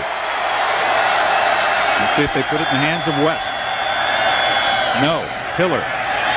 Looking, looking, looking, still looking. Now running and spinning in the end zone a touchdown. Richardson made the hit, but it was too little too late. Touchdown number two for the Broncos, and that caps a very effective drive for them. And Hiller went through a number of reads looking for a second or third receiver. Supposed to be play action, I think. He's just sitting back and waiting, looking left, looking right. Now his best option is take it as a foot soldier. And you're looking at a 6'5", 228-pound quarterback, so that's a pretty big runner. If he gets any momentum, he's going over into the end zone, and he scored. And they will go for two. Second career touchdown for Hiller, who did not play in 2006. Suffered a knee injury in 2005 after seven games and was rehabbing all of last year, but he's played very well. Martin and Simmons are the wideouts. Ledbetter, the tight end. Looking, looking, throwing. He made the catch. Ledbetter right at the back of the end zone. The big tight end from Fort Lauderdale, 6'5", 230-pound redshirt junior, Brandon Ledbetter picks up the two-point conversion. So they get back the extra point that they missed earlier in the game, and the lead has been trimmed to 14. And this is a confidence booster to this offense Absolutely. that has worked so hard. Hiller dropping back plenty of time and finds Ledbetter in the, in the corner of the uh, back by the goal and by the post. He runs a post pattern and hits his mark right in stride, right at a perfect throw.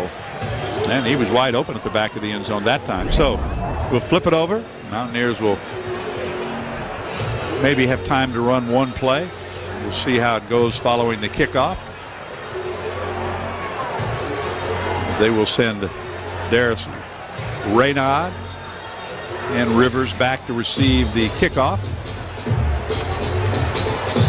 You know, John Hiller has found uh, Jamarco Simmons as his favorite receiver this year. He had a, a, pretty good receiver as a freshman, Greg Jennings, who fans may remember with the Green Bay Packers. Right. Now he's not drafted, so he's he's always had, been blessed with some pretty good receivers here while he's with the Broncos. Well, they've got an outstanding program in the works, and they've really been under Bill Cubit's leadership. They have really come on to the point where they're the favorites to win the MAC this year. Go to another bowl game. They hadn't been to a bowl game for 18 years until they went and played Cincinnati and Toronto. Bouncing kick is going to be fielded at the 20-yard line. And diving out of bounds on the return. So West Virginia will have decent field position, and they'll still have almost 13 seconds to do something with it. Tackled by two, Brandon West.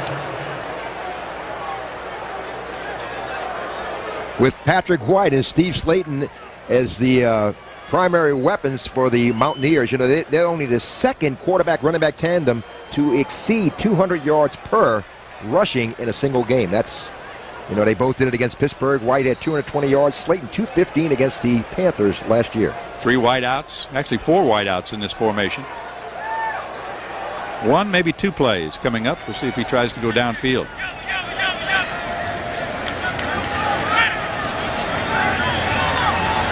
Just 12 seconds remaining, and they go inside to Slaton, and he's going to be pushed back and dragged down by Varcadipane. Nick Varcadipane would not be moved out of there. He stayed right with him, and that's probably going to do it.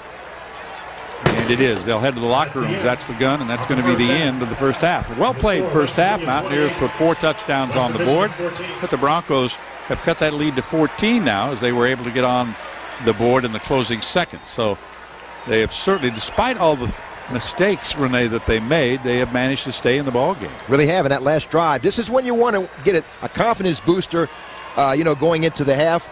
And I think Bill Cubit is certainly going to come out of something good. And offensive line, really give them credit. The game ball for the last drive did an outstanding job. They certainly did. And they got over some mistakes that they made in the first half. But the Mountaineers going twice through the air, twice on the ground. White and Slaton have been a big part of it. They are celebrating a halftime lead in Morgantown but the Broncos are trying to battle back. Our halftime activity begins. Our ESPN Plus halftime report, a look, a closer look at Rich Rodriguez coming up after this.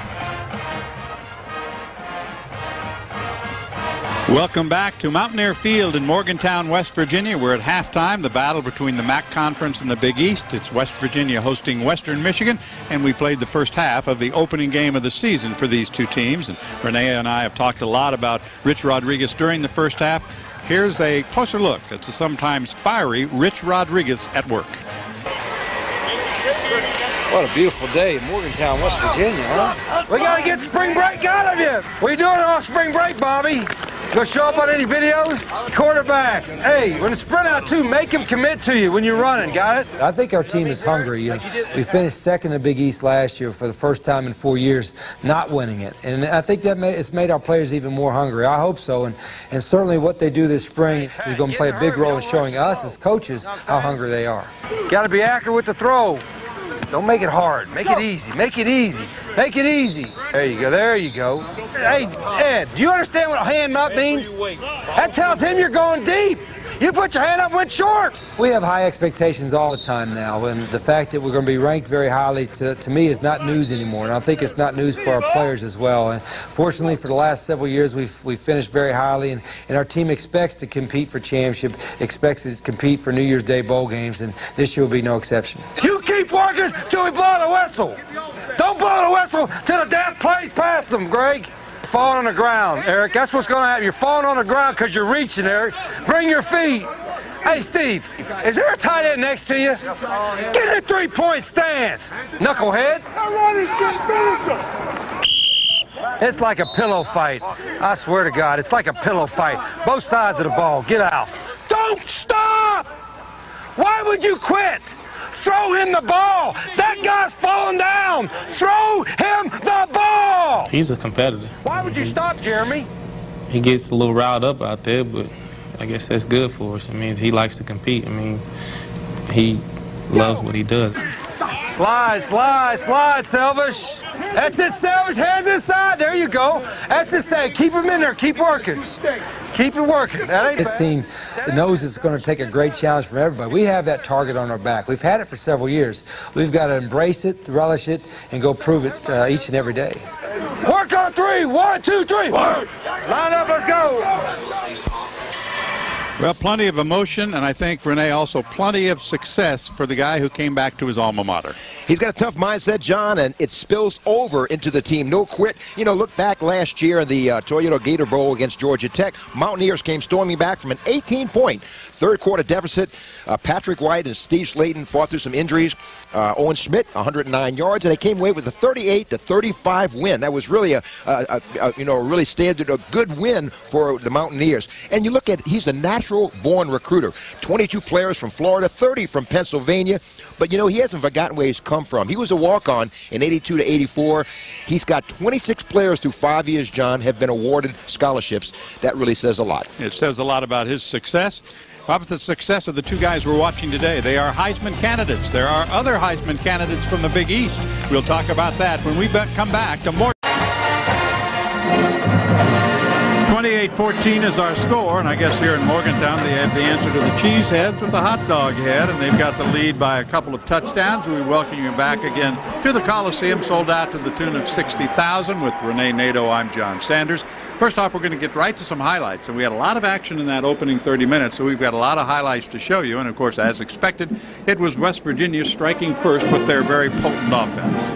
You know, it's not how you finish, it's how you it, it's how you start here. And they had a pretty good start right here. I'll tell you what, West Virginia came out hot. And you can see that Pat White shows he's got a little touch. We talked about how he's improved as a passer, and he finds a receiver open early. This was a big play, a 59-yarder, great grab there made. But unfortunately, at the end of the play, he lost the football. Special teams and turnovers play a role here, and Western Michigan dodged a bullet. You can see they maybe stole a page from Boise State a little bit with a little, little uh, trickery, and uh, it, it, turned into points for Western Michigan. Well, this is the guy everybody loves to watch. He had that angle when he made that catch in the flat, and there was nobody going to catch him. No one's going to catch him from behind. He's got explosive speed and another touchdown for Slaton. And you can see Patrick White with a little jello in his boots, if you will, a little wiggle, and he can do it with his arm or his feet. Another touchdown for Pat White. He's got two on the evening. Well, a great run there. That was a 38-yard touchdown run. And the problem, again, for the Broncos in some respects, they managed to overcome their own mistakes. An interception there. Later, they're going to put the ball on the ground. And uh, there was a late pitch and a fumble. So they made some mistakes. They had a lot of penalties, but they're still very much in this football game. Hurt them, John, as the Broncos have been hurt by their own mistakes with uh, penalties and uh, just mistakes. And you can see Slaton with a good second effort there on a touchdown. Well, Slaton got into the end zone, but the Broncos didn't quit. In the closing seconds, it was Hiller looking, looking, looking. Everybody was covered. Well, he got the touchdown. They made the two-point conversion, and thus they cut that lead to 14 at halftime. It's 28 to 14. I think if we uh, check out the stats, we'll see that they're going to be dominated heavily by West Virginia because they had the most of the possessions until that very last drive by the Broncos. And the Broncos did good. They, they went into the halftime and feeling really good about that last drive. The offensive line really excelled, and they kind of closed the gap 28-14, but it's the way they did it. I think they kind of got back in sync again. Well, maybe the most surprising part of that, as far as those stats are concerned, is the time of possession. And a lot of that came on the last possession for Western Michigan and the number of rushing yards the Mountaineers. This is a team that averaged over 300 yards a game on the ground, and they had only 86 rushing yards in the first half. And that was one of the keys we talked about earlier, John, is that the fact that they have to play keep away, and if, if West Virginia doesn't have the ball, it's less likely they're going to score. And Western Michigan have to go with their strength, keep away, run the ball, passing the ball. Jamarco Simmons with an outstanding game with eight catches thus far, and Hiller has managed the ball pretty well. He's made a couple of mistakes, but he's looked, you know, he's looked, he has some good things too. He certainly has. They are very much in this football game.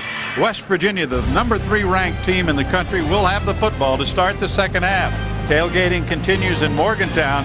The Mountaineers are up by 14. We'll be back. For Western Michigan, We are just about ready to start the second half of play here in Morgantown, West Virginia at Mountaineer Field. And a lot of the folks have gone to the parking lots to enjoy some refreshment. And we have been refreshed by the play of these two Heisman candidates. And as you mentioned, they've not really done anything to hurt their cause. I think maybe the thing that maybe surprises me a little bit, Slaton hasn't touched the ball as much as we maybe thought he would. No, but you know, the thing is, whatever works, and uh, Patrick White has been a dominating factor out here this evening. You know, last four games, uh, last six games last year, he, he averaged 100 yards. Patrick White, 100 yards rushing, 100 yards passing. And uh, today he has 163 yards passing, 62 yards rushing at the halfway point. But Patrick White has really, really shown some skills, and uh, you know Steve Slaton hasn't hurt himself with a couple of scores. And Darius Reynaud will be deep for the Mountaineers to receive the second half kickoff. Out of the left-footed leg of Mike Jones. And that last drive, that ate up about the last five minutes of the first half, was very important to the Broncos. And they've got to feel much better about their situation. If they can keep from making the mistakes, getting the penalties and the turnovers, I'm sure they feel they can play as the shadows begin to creep across the brand new field turf that they have here. And we are underway. There's going to be a very short kick. Taken at about the 23 yard line by Sowers. Sowers will get out to about the 37 yard line, and that's where the Mountaineers, who, for the most part, except for that one possession, they've had pretty good field possession all afternoon. They really have. And, you know, it's interesting about Sowers. He's a converted quarterback. He's like a kamikaze kind of guy. He can play defense, special teams, whatever. And whatever it whatever it takes, he's out there. Number 12, Nate Sowers. Spotted at the 38 yard line. They set up. Jalloh is in there. Reynaud is in there at the wide receiver spot. Steve Slaton is in the backfield. Schmitt is in the slot. He plays all over the place. There's the quick out, and the pass is caught by Reynaud. And he is spun down as he gets the 45 yard line. Tackle made by London Fryar. Well known father, Irving Fryar. He's a defensive back, is London Fryar. I'm sure Schmitt goes out, Sowers comes in. Of four wideouts in this formation for the Mountaineers. Slaton remains the lone running back. Second and three, a gain of seven on the opening play of the second half. And I'm sure Rich Rodriguez would like to see his offense make a sustained drive and take it down the field. That's going to be good for a first down as he passes on the far side of the field. Making the catch is Dorrell Jalloh. Austin Pritchard, number 35, there defensively. First down, West Virginia. But the Mountaineers will move the chains on their opening possession. They move it into Bronco territory, a gain of eight on the last play.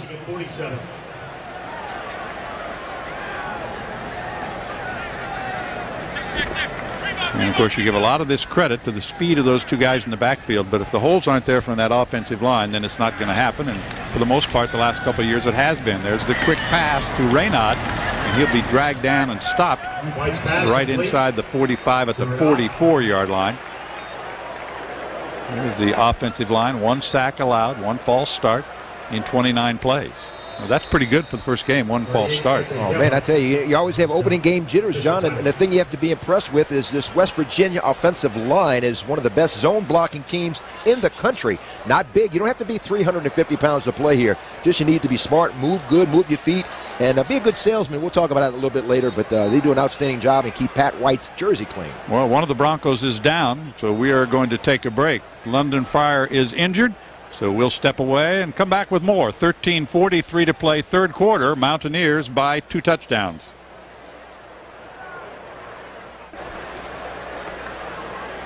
Rich Rodriguez looking on a second down, seven play coming up for his team. We got the ball at the 44 uh, yard line of the Broncos of Western Michigan. The preseason pick to win the MAC. They went 6 and 2 in the MAC West last year, lost in the International Bowl to Cincinnati 27 to 24. They were the best defensive team in the MAC a year ago. Being tested by this West Virginia offense. And more passing. Downfield he goes. White just a little too tall for Reynaud. White's pass intended for Darius Reynaud. That's the first time Gebhart was there on the coverage that he's really tried to stretch it out and go deep. Yeah, he Reynaud ran an out and up, and you know they they faced a uh, dime situation, and Pat White found a spot open, and Reynaud with that outstanding burst of speed, 4.46 in the 40, certainly put a good separation between him and the defensive back, and Reynaud just turned it up and had a little distance, just a little too long on the throw, and good separation on that run.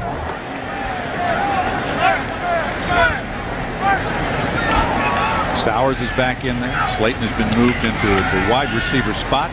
White looking to pass on third down. Now run, running for his life. And again, tried to go to Reynaud, and he could not connect, so it's going to be fourth down. I'm a little surprised they didn't try to turn it upfield that time. Duclo was there defensively. Hmm. The Mountaineers will punt.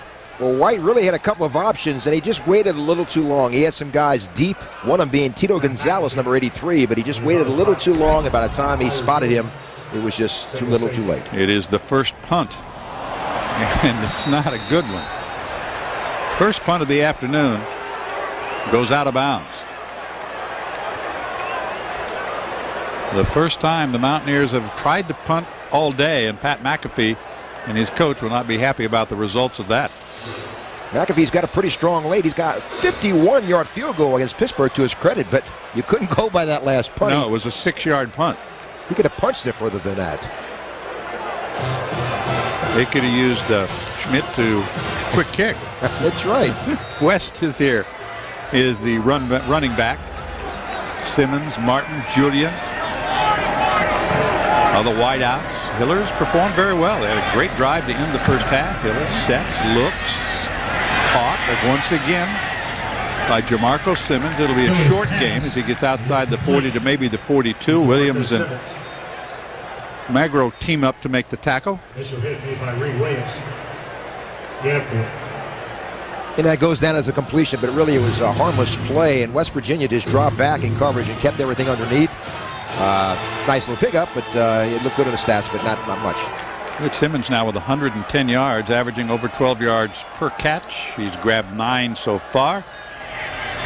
West will be wrapped up right at the line of scrimmage. Magro was there. So Magro coming in to make the tackle defensively. He picked up maybe one. It'll be third down and about six, maybe five. 12-25 to play. We're in the third quarter. Magro, an interesting number. He's 455 pound, brand 660 squat. Uh, you know, he can do 28 reps with 225 pounds, so he's got a little thump to him when he hits you. Third down and long. Hiller waits. Now has to move away from the pressure and is hit and throws it downfield incomplete. It was intended for Ledbetter as he was falling out of bounds. Ivy was there on the coverage, but a good job by Hiller just to keep from being sacked. Yeah, he got a lot of pressure into bombs going off all around him, and you know he just uh, he was just trying to put out fires, and was lucky it wasn't a turnover, and you know, but he made, made the most out of that play. Rivers will be deep for the Mountaineers. Laney will punt, so each team forced to punt on their first possession of the second half. Neither team has been able to score. We still have the same score as halftime 28 14, number three, West Virginia. Michigan has already lost today to App State at home. Wow. And his kick is a good one. Fair catch called for and taken at the 15 yard line. So that's where the Mountaineers will set up in their second possession of the second half. A 42 yard punt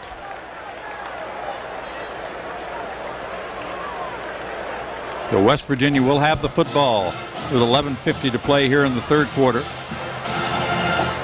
And I think they I think the line was about 27 28 points and maybe there are some people thought the Mountaineers would come out here and run over Western Michigan but that has not been the case. Well, there was some uh, you know, it showed some uh, spurts with West Virginia what they can do with Slaton and White and put up some numbers. But West Western Michigan came back roaring again with that big drive at the end of the second quarter and made it more of a game, just 14 point deficit. Schmitt is now one of the wide receivers, the inside handoff to Slaton, and he's wrestled down after a gain of about a yard. Not much there. Wrapped up by Austin Pritchard. One of the linebackers making the tackle after a two-yard gain. We really haven't seen that exploding offense. You know, the first possession the Mountaineers had the ball, they moved right down the field and scored bing, bang, boom. Yeah, and Slaton has been kind of quiet. He did score in a two-yard run and also that pass, but uh, he's been kind of silent. You haven't seen the exciting runs out of Slaton that you've seen in the past. Now, Slaton is now a wide receiver in this five wide receiver formation on second down and eight. Makes the catch. 20, 25. Tried to step away from a tackle, and he goes down at about the 37-yard line. Gebhart made the hit. Slaton picks up 11 and a first down for West Virginia. You know, it's a nice little pitch and catch by White and Slaton, and also you can't see number 70. Good block right there on the on the edge, but number 70, Rodemeyer, is downfield, a 6'4", 300-pound redshirt freshman blocking downfield, just evidenced by how that offensive line runs so well. Owen Schmitt moves back into the backfield now as the fullback. Straight ahead handoff and some running room, about eight, maybe nine yards Pritchard again made the tackle, but Owen Schmitt, I think that's what his second carry of the game. He made eight yards on the play. Well, Owen Schmitt is a strength All-American, and he's just a throwback. He's busted eight face masks. You know, he could have played. He's kind of a Mike Alstott a little bit, John, but he could have played in the 50s or 60s, and and really, uh, he's blood and thunder kind of guy. And you can see good blocking up front, everybody hitting their, their, man, and Owen Schmitt just leaving a hole, an option for him, and it's one-on-one with Schmitt. Uh, he's going to win every time. Nice. Picked up on the play. Good quick move for a first down on the sweep that time by Steve Slaton. He'll get five more. And the Mountaineers will move the change. Corey Flom. The nose guard made the tackle for Western Michigan. The Broncos down by two touchdowns. First down, West Virginia. And here they go. They call it the jet. Schmitt, Slaton, Jalloh, Gonzalez, Reynaud all in there at the same time. Schmitt lines up in the more normal fullback position in the I formation. They have so many options. There's the handoff. Room up the middle for Slaton. Goodbye. He is gone. You're not going to catch Slaton. Five touchdown. Steve Slaton.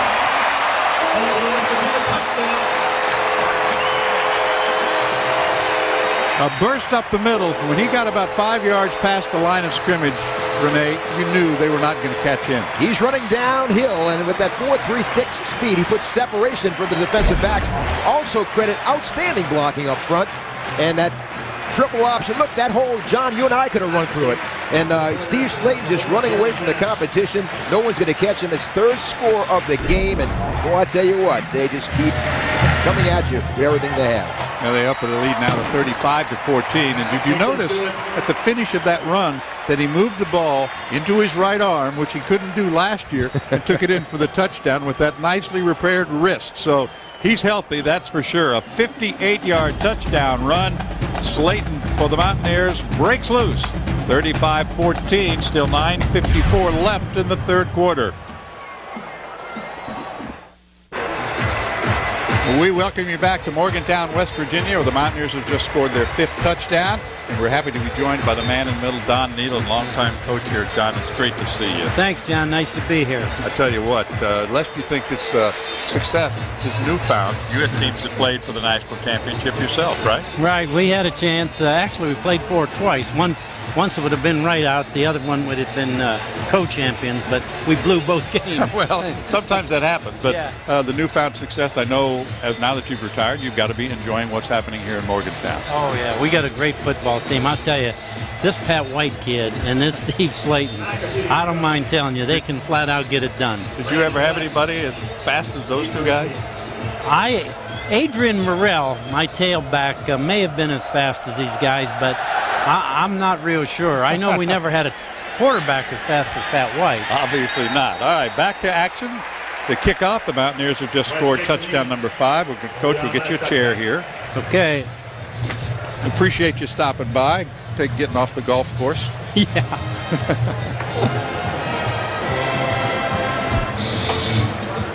Now, the Mountaineers coaches have gotten the job done. They haven't. That was the, a great play. They just ran right there up the middle, and that's where Slaton gets a chance to show his speed and what he can do. Yeah, well, that's an inside zone play, John, and you know everybody leads to their right, and when that seam opens up, he's got the speed to break it right through there. First Uh, down and 10 at the 20-yard line for the Broncos. And Don, they had a nice drive, did uh, Western Michigan, right before halftime. Kind of got themselves back in the ballgame. Western Michigan's a pesky bunch, I'll tell you that. But uh, I don't think they have the speed to hang with us. Hiller gets outside the 25, maybe the 26-yard line, a gain of six. You know, the coach, uh, coach. Uh, one thing that's impressed me is as much trouble defensively as the Mountaineers had last year. They look pretty good. They run to the ball well, and it looks like the guys with experience. It's really paid off this year. Oh, I think their defense is solid. I, you know, even last year, our only problem we had trouble stopping the pass because we couldn't get a pass rush. But our basic set is a three-man line, and it's hard to rush the passer with just three guys. They're doing more blitzing now. Uh, I think we're going to do it there again. That they might have jumped off that time. We'll see what the call is. Right, I'm sure you're right. Well, the other thing that's happened is that David Hardesty has left as president, and I know he was he's been here. He was a West Virginia grad, and he's been here a long time as well. Right, he was a great Mountaineer fan too. I'll tell you that. It's uh, it was, a, you know, it's amazing, John, what's happened at West Virginia, in my opinion. You know, when I came here and in December of 1979, they were known as one of the 10 worst football teams in America, and none of this was here. Right. Well, and, and people said you can't recruit to Morgantown, right? Right. And uh, we were able to get this stadium built and put the weight rooms in and the locker rooms and and then wrap it around and big scoreboard and everything. And uh, right now we can recruit with anybody in America. Well, that was the 11th penalty on the Broncos. Sets them back to a second and long. They go from the shotgun. Hiller looking. Has time. Throws. That's going to be intercepted. He overthrew the receiver. It's picked off by Reed Williams, and Williams gets down close to the 20-yard line. The second interception, third turnover of the ball game for the Broncos. And you had a middle linebacker dropping deep in that zone coverage and did an outstanding job coming with an interception, Reed Williams. And uh, Coach, you know, the thing is, we talked earlier about the recruiting, and you just touched on it. Uh, Coach Rodriguez did such a great job recruiting in Pennsylvania and Florida, and he's record, uh, rewarded the walk-ons. He 26 walk-ons have gotten scholarships in the last five years, and he's got a good blend of blue-collar guys and superstars. No question about it. They've done a great job recruiting. The big thing they've been able to recruit is speed. They got a lot of kids on this program that can run. They even have a couple kids we haven't seen much of this afternoon. A couple freshmen who can fly. Right. And Devine and Sanders. They're both really quick kids. I've watched them in practice. Some pressure, but all alone, and it's going to be oh. overthrown. I think maybe the pressure that was coming up the middle that time Slaton was the intended receiver, but they got good pressure up the middle, and White had to unload before he wanted to. On that on that play, John, they isolate Slaton on an inside linebacker, and that's a mismatch. Yeah, it is. There's no way on the. I don't. I'm sure there's anybody in the white jersey that's not a mismatch yeah. for Slaton at yeah, times. exactly. And uh, you're right. Uh, Pat had somebody in his face, or he'd have got him the ball.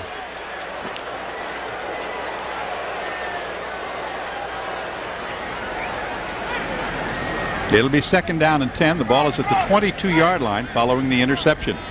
Mountaineers trying to open it up now here in the third quarter. White on the run. Steps through. There 10, 5. See ya.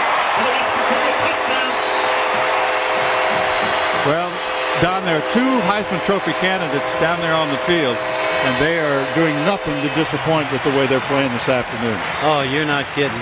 I'm not sure it's good to have two on the same team because I got a feeling that could hurt you, but those two kids are both really good football players.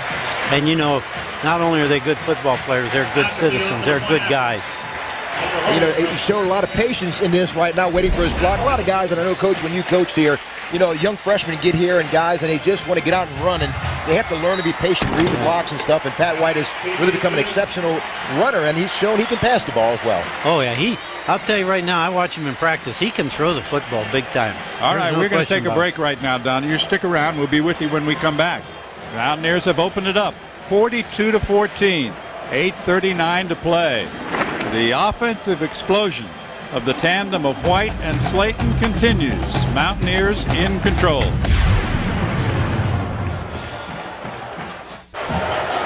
Quick work for Rich Rodriguez crew. They've scored two touchdowns in the last one minute and 15 seconds. They'll be kicking off again. And Don Nehlen is still here, former head coach of the Mountaineers, who's still enjoying things in Morgantown. How are you occupying your time now, Coach?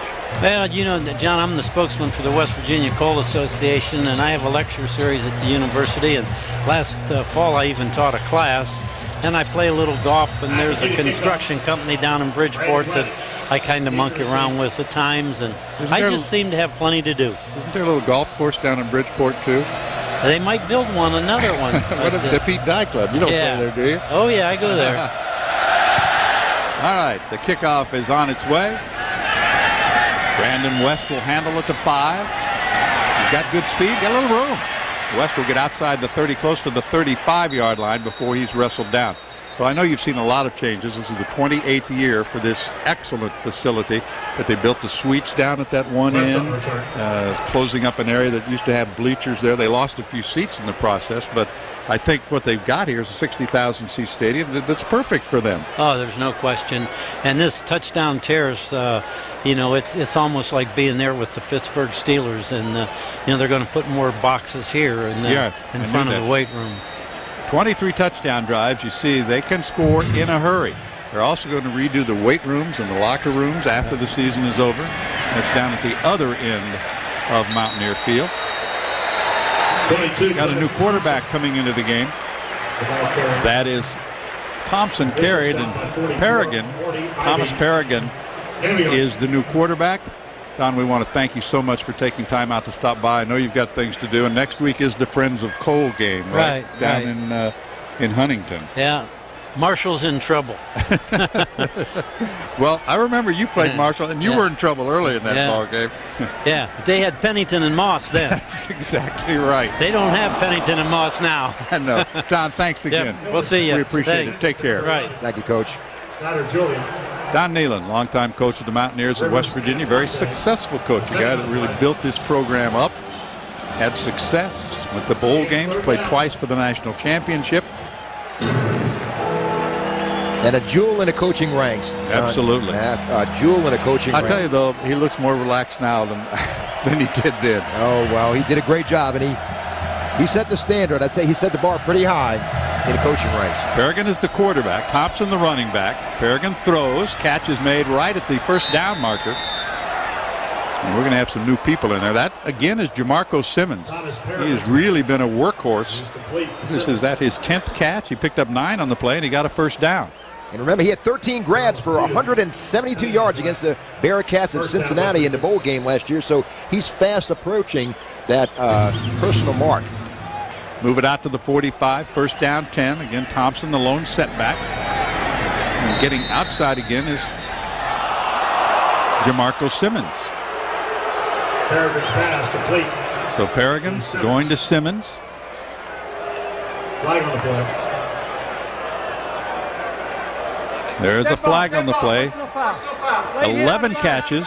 Number 41 on the defense. And the 15 yard dead ball foul is called on. West Virginia's Eric Wicks, one of the returning veterans out of Perry High School in Pittsburgh.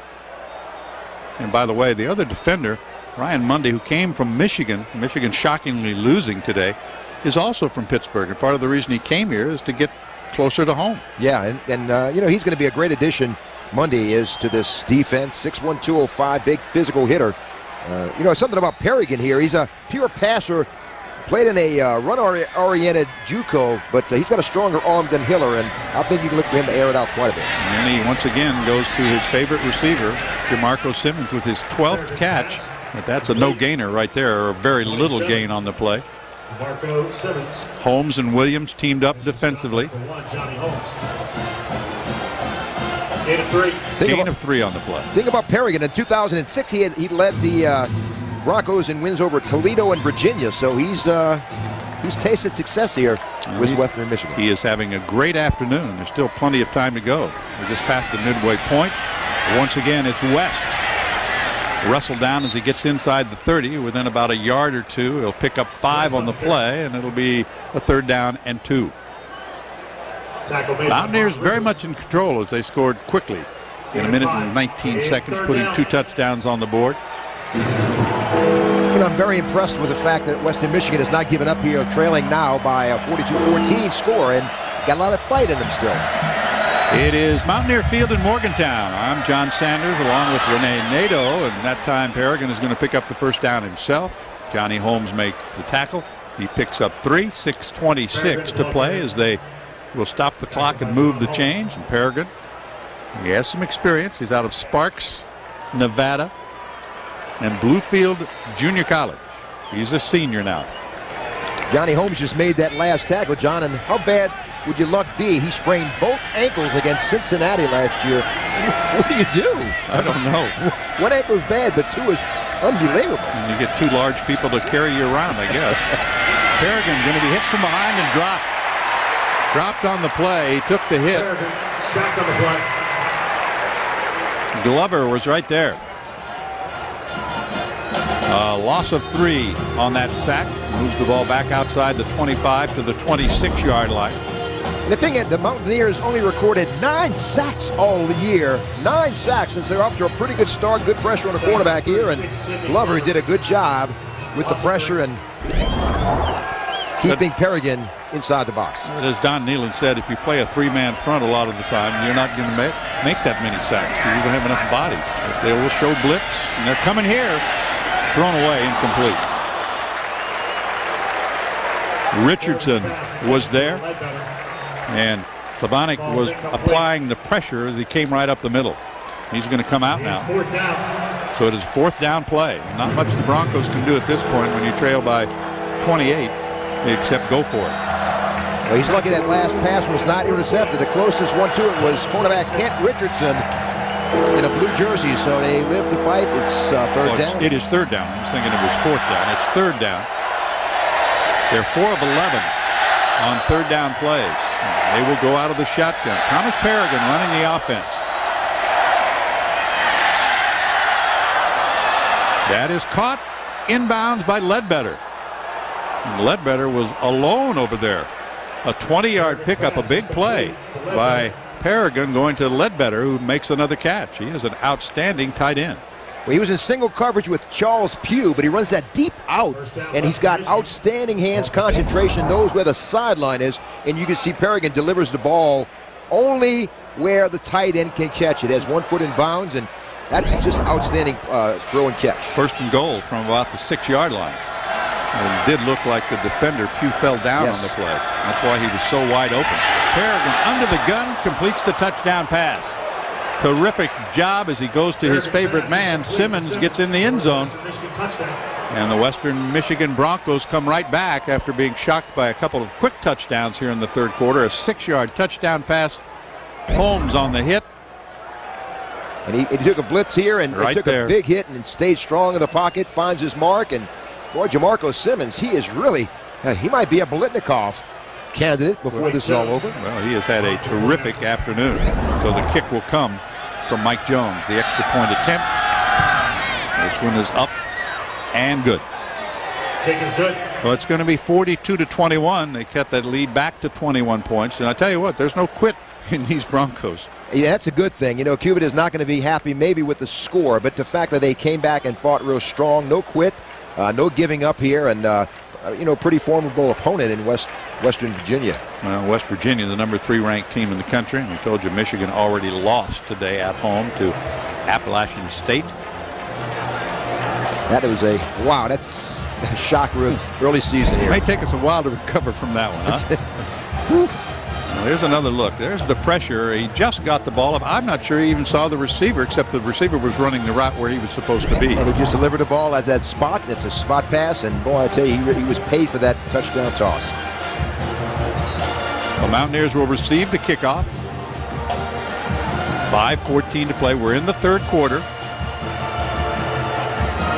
Rodriguez always coaching. Bill Cubit's team has put 21 on the board against the Mountaineers. But you know, they averaged, West Virginia averaged 40 points a game in the last half of the season. And in some of the preseason talk, Jones gets the call. quarterback Patrick White said, I'd like to score 50 points a game. well, they- they have the potential to do it. They, well, you know, they've certainly shown they've flexed their muscles here, and you know, with 42 points and five minutes and 14 seconds to go in the third stanza, John. They's, wow, they, and they still have a lot of gas in the tank. This is Reynaud who'll have it. Comes straight up the middle. He's got some room. Reynaud with a one quick move gets to the 50.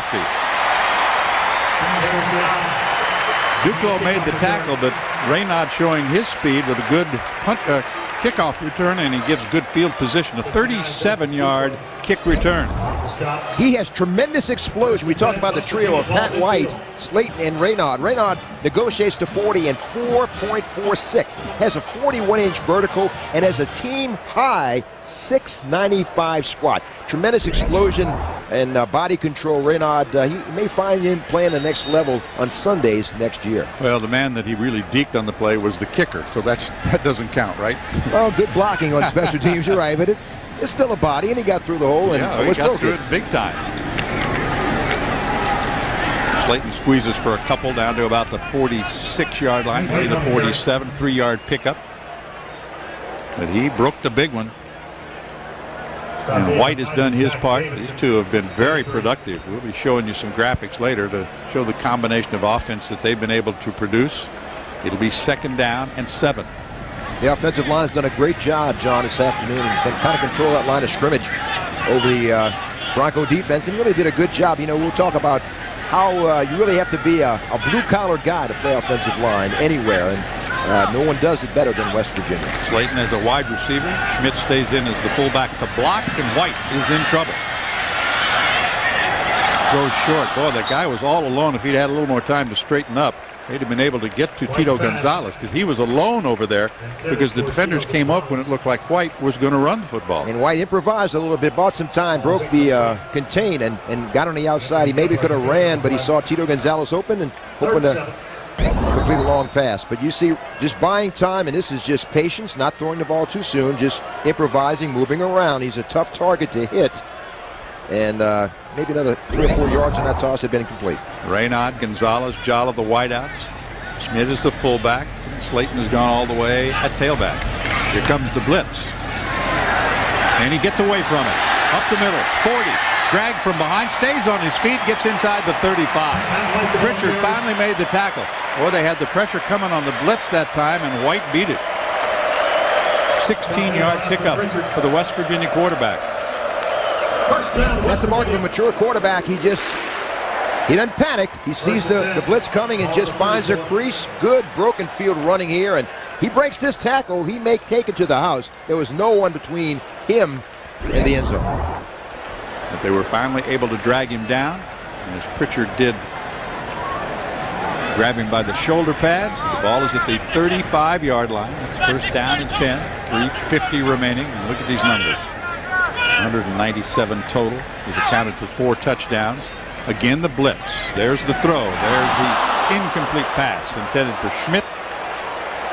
And that was not an easy pass to catch. A little bit behind him, a little bit high, and Schmitt could not hang on. And, and, he can be, you know, a number of positions at the next level, tight end, fullback, whatever it may be, and he usually catches the ball, and that is a very tough catch to make. 6'3", 260-pound Owen Schmitt may be a, a tight end H-back in the NFL, and negotiates to 40 and a 4.57. That's unbelievable. We mentioned he's a strength All-American, and you know he's got a cult following down here. Has a sports a mohawk under that helmet, and you know he's oh he's got a great following. Yeah. You go outside, you'll see jerseys number five and 10 all over the place, with a bunch of 35s mixed in there as well. That pass is incomplete. It was intended for Gonzales, but Tito could not hang on, so it'll be third down and 10 coming up. Sosnovich applying the pressure defensively. And right now they, they had the, the wide receivers of Reynaud, Gonzales, Sowers, and also playing a wideout right now is Slaton. We haven't seen uh, young freshman Devine and uh, no, and Jock we Sanders expected yet. to.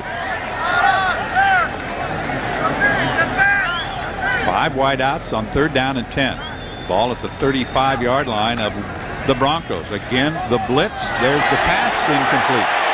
And that's going to be pass interference. The fans were calling for it before the flag hit the ground. well, he, he ran a seam route, and Slaton was going to beat the defensive back. He just reached out and grabbed him, and I guess it's better to, to get a penalty, and you live to fight another day. If he gives up that play, it's another touchdown, and Slaton had beaten him. Now there's yellow all over this end of the field, which is now basically in the shadows. Pass interference. Number 21 on the defense. 15-yard penalty from the previous spot. First down. Antoine Allen is the guilty party, number 21, and I tell you, in his defense, you try to stay with Steve Slaton, and that's a tough task. Coach Cubit will not get mad at a, at a, play like that because, if anything, if you let him go, he'd yell at you. But, uh, you know, if he holds on to him, at least he has a chance to, to fight another day. And Slaton, if not, he's we kicking an extra point. Now, 12th penalty on the Broncos, 87 total yards. The ball is spotted at the 19. Schmitt moves to a wide receiver in this formation. Got him in the slot on the right side. Four wide outs. Slaton in the backfield with White. There's the inside handoff, and Slaton leads inside the 15 down to maybe the 14 yard line before he's dropped by Allen. Well, Pat White, when he gets in this part of the field, is pretty darn good. 29 out of 46 for touchdowns. You add that there, and it's going to be 43 times out of 46. You get some kind of point out of it, and that's that's very good. Yeah, well, you know, and he's scoring touchdowns, not field goals, and that's the thing. When you get in the red zone, you want to get the maximum, and he does quite that. And boy, I tell you, he's he's a complete quarterback. Second down and five, same formation, same play. Slaton's got room. Five, dragged down at the one-yard line. Gebhart was able to get him before he got to the end zone, but it looked like he was heading that way for another touchdown. He's got that afterburner, another gear, and Slate just explodes when he gets to the second level. You can see right here, getting the inside handoff. First and goal. And he, good vision, good cut right there off the block, and leaves a defender grab, grabbing for air and uh, gets down to the one-yard line. Good tackle, but he's got tremendous explosion. Gets to the second level so quickly. Schmitt is in the normal fullback position in the I. The blocking back in front of Slaton. Guess who has the ball? Slaton trying to sneak in, go underneath, and he could not get there. No gain. Gebhart makes the hit. Anthony Gebhart's playing pretty good here in the second half for the Western Michigan Broncos out of Kalamazoo. Slate with uh, 15 totes for 101 yards and Patrick White 9 for 97. what a Hey, that's happened Double- many times, hasn't it? double dose of dynamite, John. It's fun to watch him. Again, Schmitt is the fullback. Second and goal. No problem. Slaton's into the end zone again. To the end zone for the West Virginia touchdown. So Slaton scores again.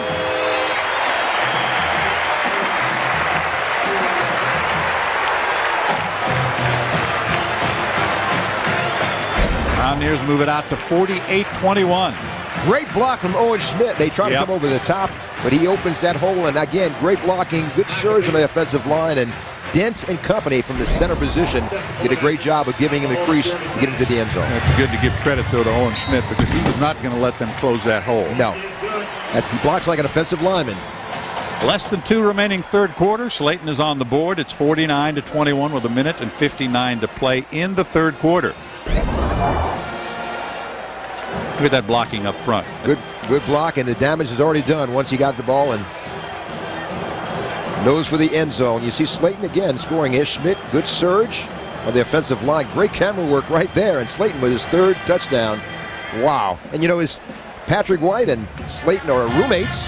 But when a uh, when Slaton went to the uh, Playboy All-American shooting, he he roomed with uh, Darren McFadden. It kind of interesting. Boy, what kind of talent they had in that room. Well, that's the fourth touchdown for Slaton. He's got 24 points himself. Yeah. More than the Broncos as a team. But, you know, we expected to see this kind of an offensive show, and we're seeing it. You know, they have uh, they're in mid-season form, and, and to be this good this early in the season, and you know, Western Michigan again could be the chalk of the MAC. And, That's right. Uh, so they they're doing it against a pretty good team. And we mentioned when we had Don Nehlen up here that the next game will be at Marshall for West Virginia. The Friends of Coal Bowl will be played down there. And Joe Manchin, who is the governor, will join us in the fourth quarter, but he's been the instrumental in setting up that rivalry between Marshall and West Virginia on a regular basis. Next up for the Broncos of Kalamazoo, they'll be at home next Saturday to Indiana. Then they play at Missouri. So that is not an early, easy, uh, early, an easy early season schedule is what I'm trying to say for Western Michigan. Mountaineers five and one when uh, White and Slaton exceed the 100-yard mark, and they've done that this evening. Brandon West will be the deep man for the Broncos. McAfee will kick off.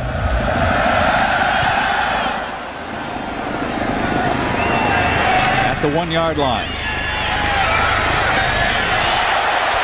Ridden down hard and a flag comes in.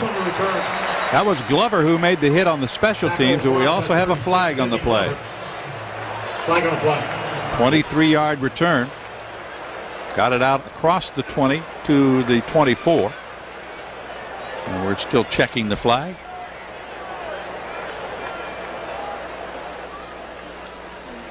On the return. Number 23, holding.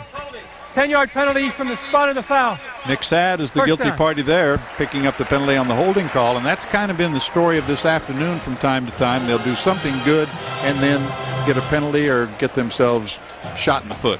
Well, and you know, and I guess they'll iron those things out, but those are the kind of things you do not want to have against a team such as West Virginia. They'll make it pay for it. Well, 16 rushes, 109 yards for Steve Slaton. What new? 19 games he's played, and he's rushed for 100 yards or more in 16 of those games. We still have a minute 53 remaining here in the third quarter. Thompson will be the running back. Peregrin, who is playing the second half, Peregrin will be the quarterback. Two wide out formation. Martin and Jamarco Simmons. And that's straight ahead running that time by Thompson. And this will pick up a couple of yards into the middle of that defensive line. Four yard pickup. West, James Ingram made the tackle. West Virginia employing that uh, four-man front, so they've changed things a little bit and kind of keep, you know, br- keeping the Broncos kind of off uh, kilter a little bit. And uh, Ingram, we've called his name many times. Dingle, we've also called him. And Dingle was a uh, highly recruited guy for the Florida Gators. Signed with Florida, left left the Gators, and uh, went to a junior co- college and came headed to West Virginia. They're going to nail him for another sack. In the backfield that time, Mortty Ivy from uh, Monroeville, Pennsylvania, in the Pittsburgh area, able to pick up a sack for the Mountaineers. And Morty knocks him all the way back inside the 15 again, back to the original line of scrimmage, a loss of four. And here comes Ivy on the blitz. You're right. 6'3", 235. He hurt his knee in a spring, came back, uh, and really looks good. Looks at midseason form, great acceleration, just a junior. And he had six stops against the Pitt Panthers last two years ago, and he looks like he could be a great future here with the Mountaineers. Peregrin with a quick handoff. Thompson will get a couple yards back, and that's about it. Thompson. Slavonic Merrow, a couple of those down linemen, make the tackle for the West Virginia. And some of the second team players are seeing some action now for the young men from Morgantown. 49-21, they've got the lead. Vaughn Rivers will be deep to receive the punt. You can see the shadows creeping ever farther across the field here in Morgantown. Just hit a shot at Merrow. Thor Merrow, his dad played for West Virginia, also played uh, eight years, nine years for the Atlanta Falcons, but his dad still holds the record with 15 tackles for losses in 1973. That record still stands. His dad, Jeff Merrow. Well, we will head to the fourth quarter. Governor of the fine state of West Virginia, Joe Manchin, will join us. He'll talk about that Friends of Coal Bowl and more. It's 49-21. White, Slaton doing their thing for the Mountaineers. Stay with us. We'll be right back.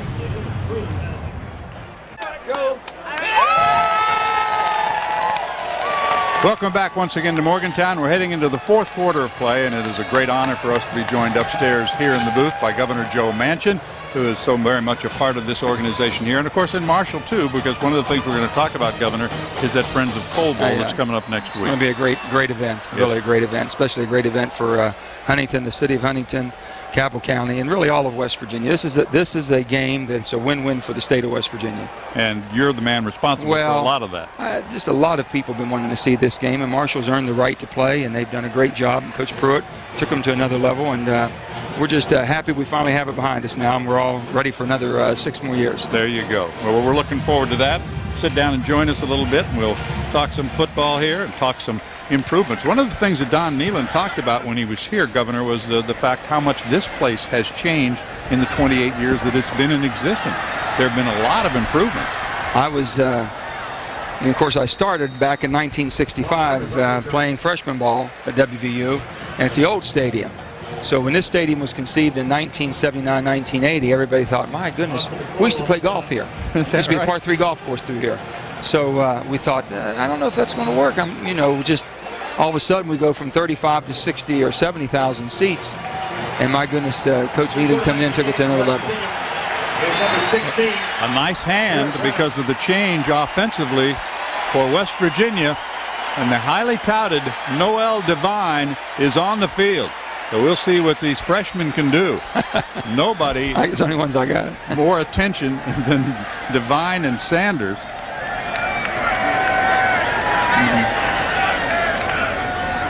And he'll get a carry. And if you've ever watched YouTube, that was Sanders on the carry that time, you'll see a lot of Noel Devine. That's for sure. Governor, I'm- I'm from New Orleans, and I know Rich Rodriguez when he was at Tulane. And success, I had a chance to say hi to him yesterday. Success has not changed him. A former walk-on, and he's done an outstanding job with this program, and he seems to love where he is. Well, let me just tell you the whole thing with Rich. Uh, I've known Rich since he was a young a young person. He worked for us in the carpet store. We gave him all the toughest, dirtiest jobs. He did every one of them. Never complained. He's still working hard. And Nick Saban, my very, very, very close friend, uh, we live two, all of us live two miles apart. So Nick grew up on this side of the town. I grew up in Farmington, and Rich was from uh, from Granttown, and so I know a little bit about uh, the LSU Tigers and and uh, all that great tradition down there. Uh, Eddie Davis made the catch on the pass from Jarrett Brown, getting a chance to play here in the fourth quarter. Mountaineers have certainly done their thing, and checking back into the lineup is Jock Sanders along with Devine. What about the Friends of Coal Bowl? Uh, how does that work? And you said it's a big event for the city of Huntington. Uh, I know that for many years those two teams didn't play, and West Virginia really felt that it was a no win situation for them to play Marshall, but you've changed that. Well, I'm sure. I'm, I'm a uh, WVU alumni, as you know, and, and I'm sure there's a lot of hardcore alumni that believe that it's not a win-win for us. You know, we play them in basketball, and we've proven that's a tremendous Right. financial success. When the 12th game was added, John, uh, I knew that uh, to be a financial success, uh, it, it, WVU and Marshall should be playing, and uh, it has proved uh, has proved very beneficial for both. As you can see, whoever wins the first two out of three gets the fourth game at home. Well, wasn't that always one of the hang-ups as to how many games were going to be played in each stadium? That was a critical battle that you had to take care of. That was the final hang-up. Okay, we kept locking. I kept them in the mansion all day that day. they started with breakfast and went right through lunch and was going to dinner. And I said, guys, we got to finish this up. And and Ed Pastilong, tremendous friend of mine and a great guy, and and Caleb Markham, they're just class act, and they they worked it out. And then we talked to them. They said, we're down to this. We can't decide. Uh, West Virginia believes we should have three to four games. Right. And Marshall says, well, at least you, you, you know, we should have two out of two. Let's be, you know, they Right. wanted. So they said, well, how, where I come from in Farmington, West Virginia, two out of three usually takes it. well, that's that's that's a good plan. And I remember I talked to Don Nehlen years ago when they played, and uh, uh, they put a big scare in uh, West Virginia because they took like a 21 to nothing lead right here in this stadium, and then the Mountaineers roared back and beat them. I mean, they they're they've got a quality uh, program. They're working hard, and Mark Snyder is a good young coach, and uh, Bobby Pruett just. Uh, like I said, took it to another level, but it's it's going to be a tremendous rivalry. We watched it in basketball. Well, I've enjoyed that rivalry. Those games are always great down there. I've done it like eight or nine straight Well, years. they beat us the one year. We went to the six, Sweet 16. Right. They beat us the next year. That's we went right. to Elite Eight. two years And I said, row. well, if they beat us last year, we'd have been the national champion. You know, speaking of national championship, Governor, we uh, we have the national championship in the Superdome this year, and the way this team is playing, got two Heisman hopefuls, but we may see the Mountaineers in the Superdome January 7th. Uh, Rich has done a tremendous job uh, with this team, and his staff needs to be commended because they've worked hard to get to this level. But you you know something. This was what Rich always believed. Always believed he'd be at this level. He he he just knew it. And I remember when uh, they talked to him first to try to. Uh, Coach Needham decided to retire, and who was going to be his successor. And uh, of course, I'm partial to uh, West Virginian because you have to know this state, and you, you have to have the love that we all have for our state.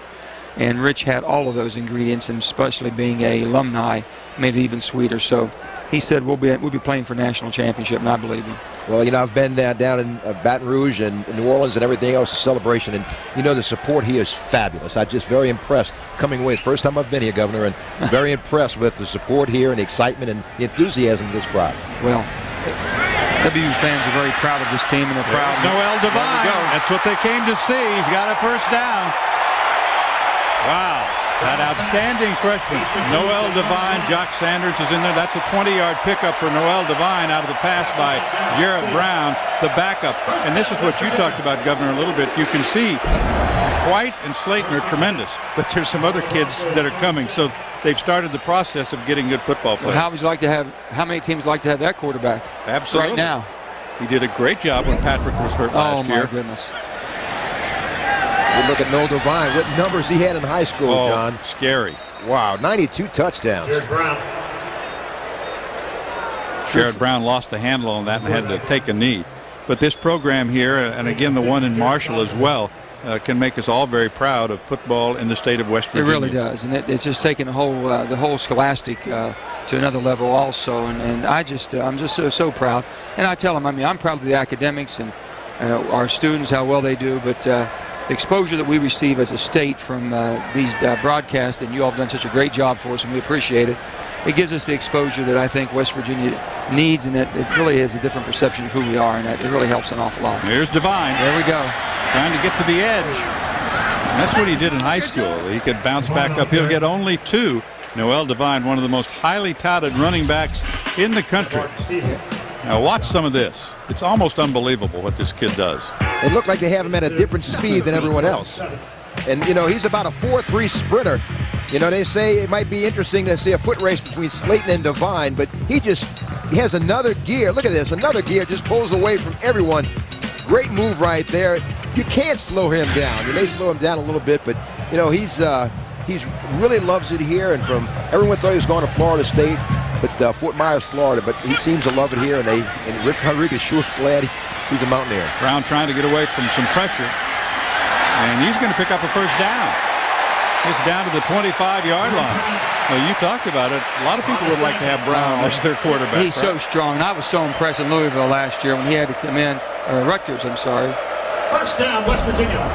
You know, the thing about Jarrett Brown is, you know, he's learned his fundamentals from Adam Bednarik, but he's learned his reads and, and how to run a, an offense from Patrick White. And people think he's very similar to a Vince Young in skills and good size and tremendous arm, 6'4", 220.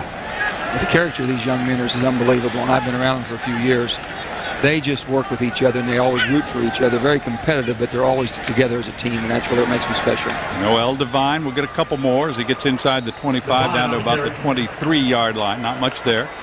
Clock continues to roll. 9:43 remaining in the ball game, dominated by West Virginia. They have 49 points on the board and looking for more, with primarily second unit players in there right now. You know, the good thing about this is these two freshmen, Jock Sanders and no Noel Devine, pull for each other very hard. And, and freshmen are going to get better, Governor. You know, the thing is, usually a freshman such as a Noel Devine or Jock Sanders, when they get here, they go back, revert back to their high school skills. But as they learn to read, use their vision, they become much, much better. And, you, you know, the ceiling is a limit for these guys. Well, the bottom line, Sky's a limit. Sanders on the carry. That was Jock Sanders that time, picking him a few yards inside the 20 or down to the 20-yard line. when you have that many quality backs, when you have quarterbacks that can run as well as a back, and then you have the talent we have in the backfield, you know, we're going to put a lot of points on the board. Well, plus, West Virginia's going to put a lot of points on the board this year. well, they averaged at the end of last year about 40 points a game. We need every one of them, too. Well, that's true. At times you do. That's for sure. And it's great to see the young freshman out there around the second team quarterback, Jarrett Brown. Look at there. There it there is. it is. Right up the middle. Brown will score the touchdown. 20 yard run. Jarrett Brown from West Palm Beach, Florida. Keyed that overtime win that you were talking about, Governor, against Rutgers. But the sophomore takes it in the end zone himself. Guy had 244 yards. Watch, watch how strong he is.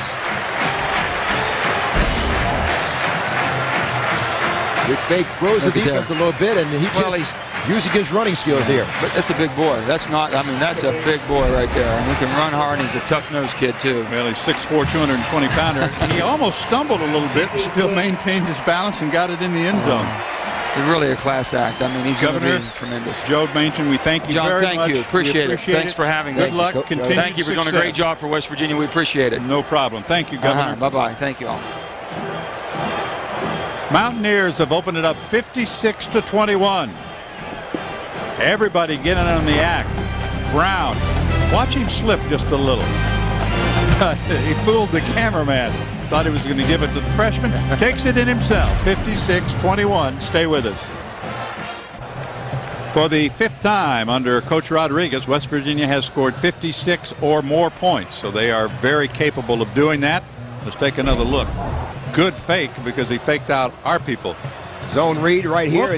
He doesn't have the ball, does he? Took everyone with him, and that was a great fake that absorbs. Jock Sanders took everyone with him, and Jarrett Brown dances in the end zone. Five freshmen played skill positions on the last drive. Devine Sanders, wide receivers Davis Hogan and Will Johnson.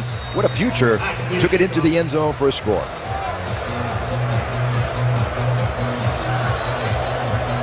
Fifty-six twenty-one. Not even midway through the fourth quarter yet. You know, the thing about you put the second teamers in there, and they're going to want to score too. let that one roll all the way back to West. And he has trouble with it. And West is going to be tied up at about the 17-yard line, a five-yard return. And that's going to be it. I give uh, Brandon West some credit. He's been in on a lot of plays today. Allen and Glover were down there on the special teams for West Virginia. About a rushing comparison? Of course, there's been a lot of passing for the Broncos, but West Virginia 268 yards. They're averaging seven yards a carry. They've rushed it 38 times, just uh, over one yard for the Broncos. And it shows that West Virginia stepped up big, only allowing, you know, so many, so few yards to a team that can score points, runs the ball well, and they really, really kept them in check and shut them down. It looks like a bright future in 2007 for the Mountaineers. Pass over the middle is caught. Making the catch is Middleton. He's a backup linebacker, and he's got enough for a first down. As he moves to the chains, Middleton is a freshman from Deerfield Beach, Florida. Anthony Middleton, number 88, 6'4", 215 pound, true freshman. That's one of the changes in the program a couple of years ago, they had to use 14 true freshmen. This year, I think they're only going to play three or four. Yeah, and you know the thing is, it's gotten better as it's gone along. A couple of years ago, they played seven. You know, uh, last year they played only seven. But the thing is that you know you don't need the freshmen, or you, you don't need them to play anymore, and you just it's better to redshirt them and let them learn and experience the college atmosphere before they have to really before it really counts. Well, so many of the Division 1A programs now are basically based on five-year plans. Right. And, uh, you know, the thing is at Western Michigan, when you have to play your guys just to stay competitive, but, uh, you know, Coach Cubit has done a good job bringing in really good talent and, uh, you know, saving them. And, and now he's showing the, the fruits of his labor. Well, Crutella, you saw the center there. He is a redshirt senior from Summit, Illinois. And, of course, Coach Cubit worked down in Florida some. That pass is going to be incomplete. Intended for Nunez. Juan Nunez, another from South Florida. He is a freshman from Miami. Juan Nunez. You know, the thing about, you mentioned uh, Rutillo, he'll be playing on Sundays. He's a big guy, six, you know, 6'4", 300 plus 15, 320 pounds. And, you know, he calls on the line. He's been there for five years now, and he does a great job with an offensive line. And in the MAC, they're going to do well. Uh, you know, I still feel that Western Michigan is uh, can compete for that title for the MAC. Pass is caught for a first down. Again, it's Jamarco Simmons who's having a got to be close to a record afternoon for him. He has been very, very busy. 12-yard pickup, first down. Leonard made the tackle as some of the second and third team players are in there for the Mountaineers defensively.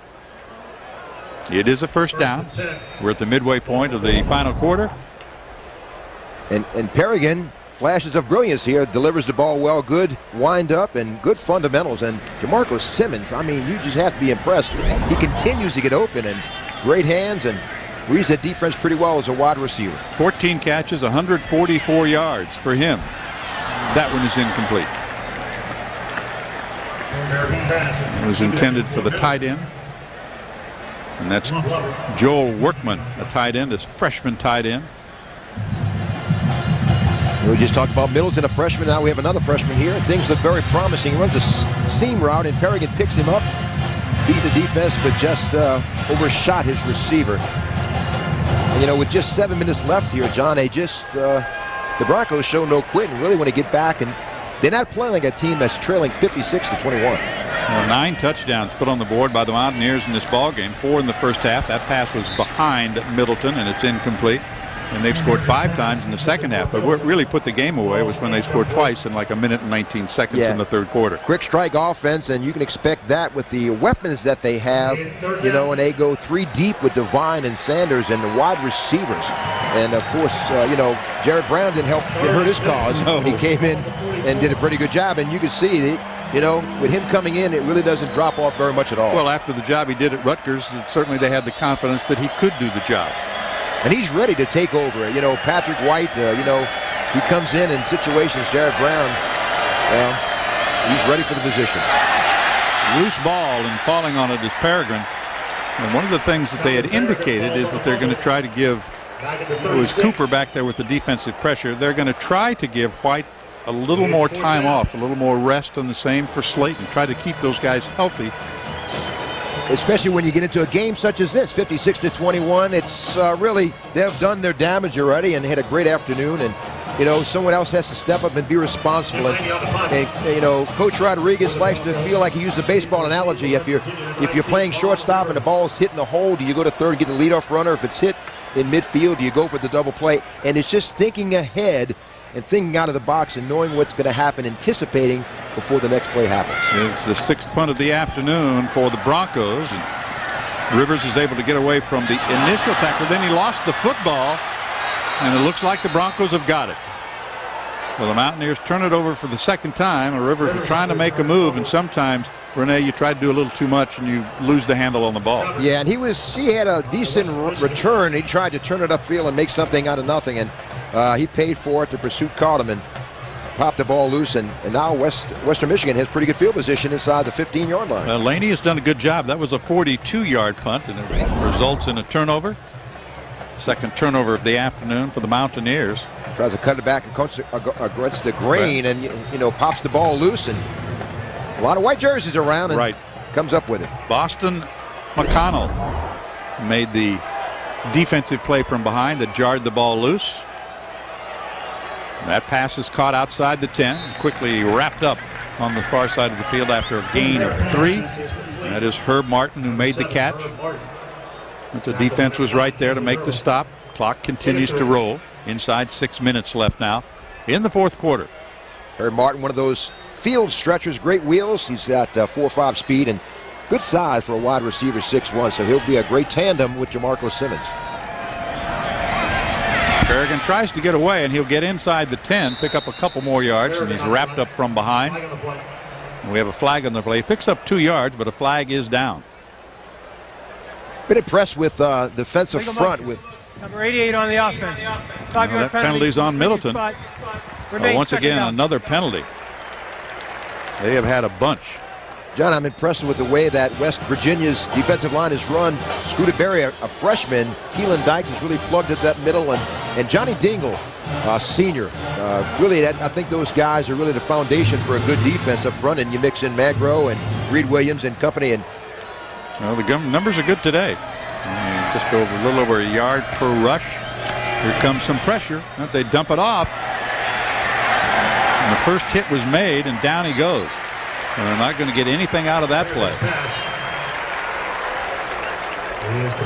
West made the catch, but Richardson and company were there to stop it for no gain. So it's going to be third and long.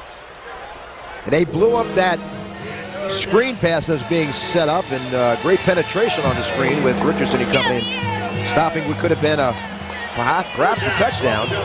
And they still hold them and digging their heels in. And West Virginia looks strong in the red zone. Five wideouts in this formation for the Broncos. It's third down. And about 12. Peregrin sets, looks, throws far side, catch is made. Not enough for the first down. Juan Nunez made the catch. Both these quarterbacks, Hiller and Peregrin, uh, showing good arm strength. As you know, that out pass is not an easy toss to make. And, you know, again, credit this West Virginia defense. They, you know, started this series inside the 15-yard line and didn't give up anything. In fact, uh, the Broncos lost a yard or two and now have to go for a field goal. So It'll be Jones.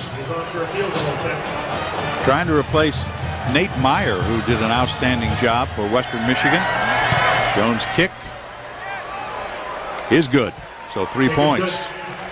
They'll make it 56 to 24, and they salvage something out of the drive. Plus, they do some work for their special teams to make sure they can get the job done. It's 56-24. We have just over four minutes remaining in Morgantown. The field is in shadows, and the Mountaineers are on top.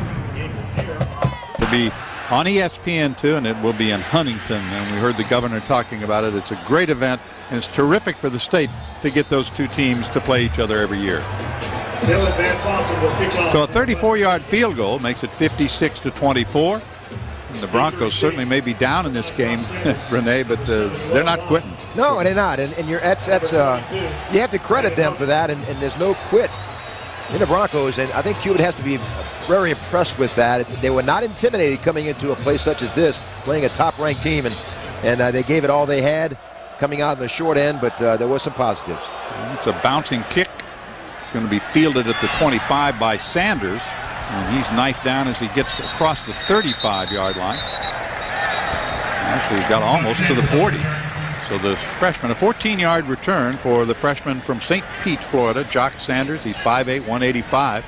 And you look at Devine, he's 5'8", 170. He's from North Fort Myers, Florida, so you know they knew about each other when they were in high school. That's friendly competition. They're also very hard to find. 5'8", you know, they can hide pretty good behind these big, big linemen. And, you know, the, the, offensive line for West Virginia, we talked about their zone block, and they've done so well. And the offensive line position, John, is the most misunderstood.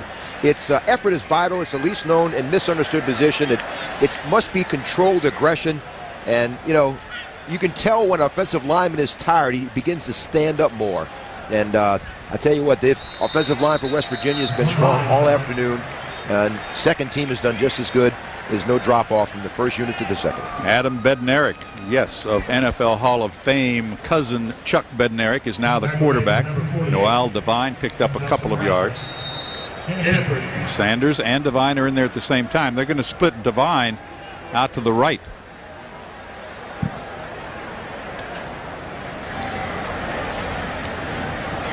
It is Jarrett Brown out there. And Sanders for a first down to midfield. Eight yard pickup on the play. C.J. Wilson. One of two spectacular freshmen. First down, West Virginia. Sanders with that 4-5 speed, 43 touchdowns his junior and senior year in St. Pete, and he's just running with his abilities right now, and just uh, his instincts are carrying both he and Devine as they get a little, you know, more accustomed to this offense. They'll they'll become much much better weapons. Alongside Jarrett Brown, Jock Sanders is the running back. Nothing there. And gets across to the 49-yard line. Brown, of course, who scored a touchdown on the last possession, dropped by Gebhart.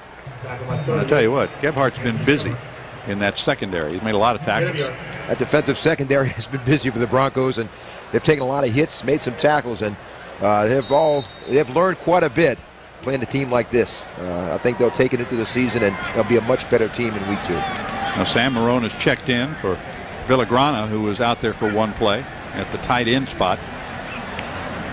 The direct snap. Here comes the pressure. There's the pass. Good move. There's some room at the 40. It's Jock Sanders who'll pick up a first down. It's close to the 35-yard line, a 12-yard pickup by Jock Sanders.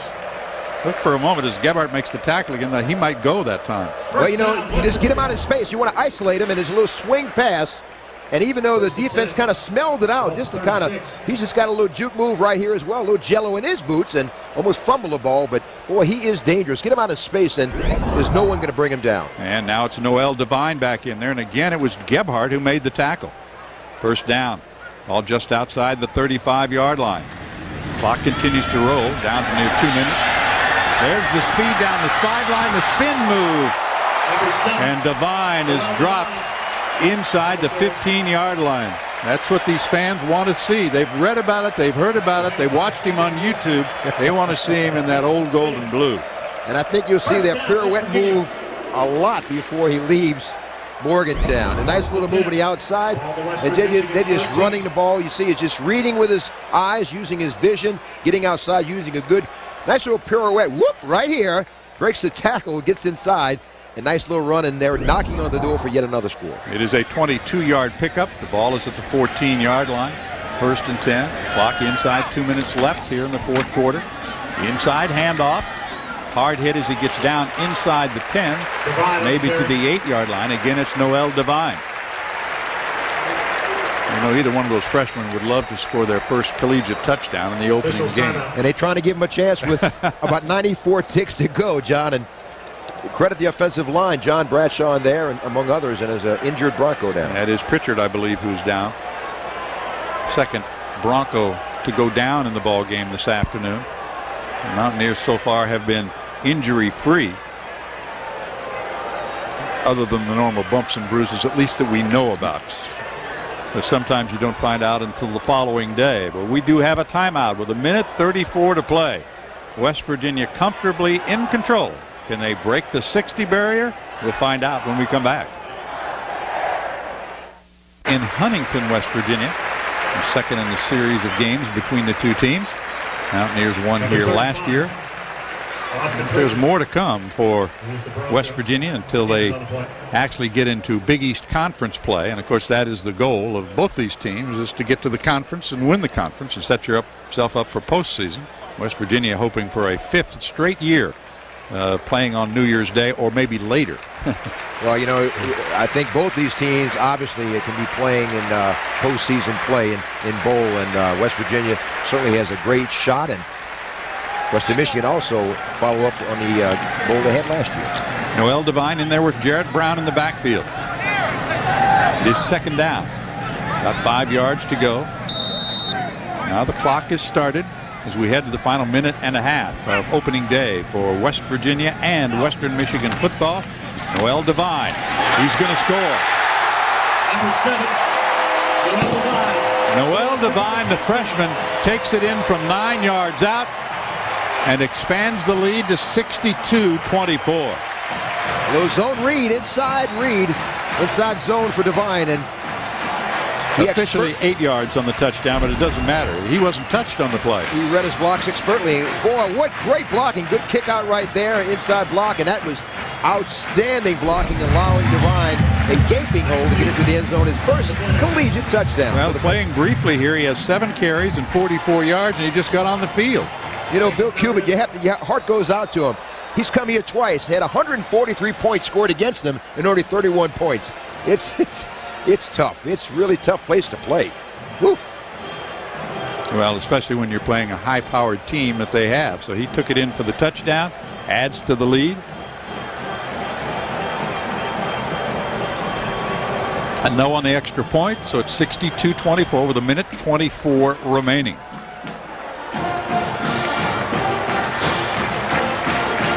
And the Mountaineer and the cheerleaders doing the push-ups are going to be pooped when this one is over.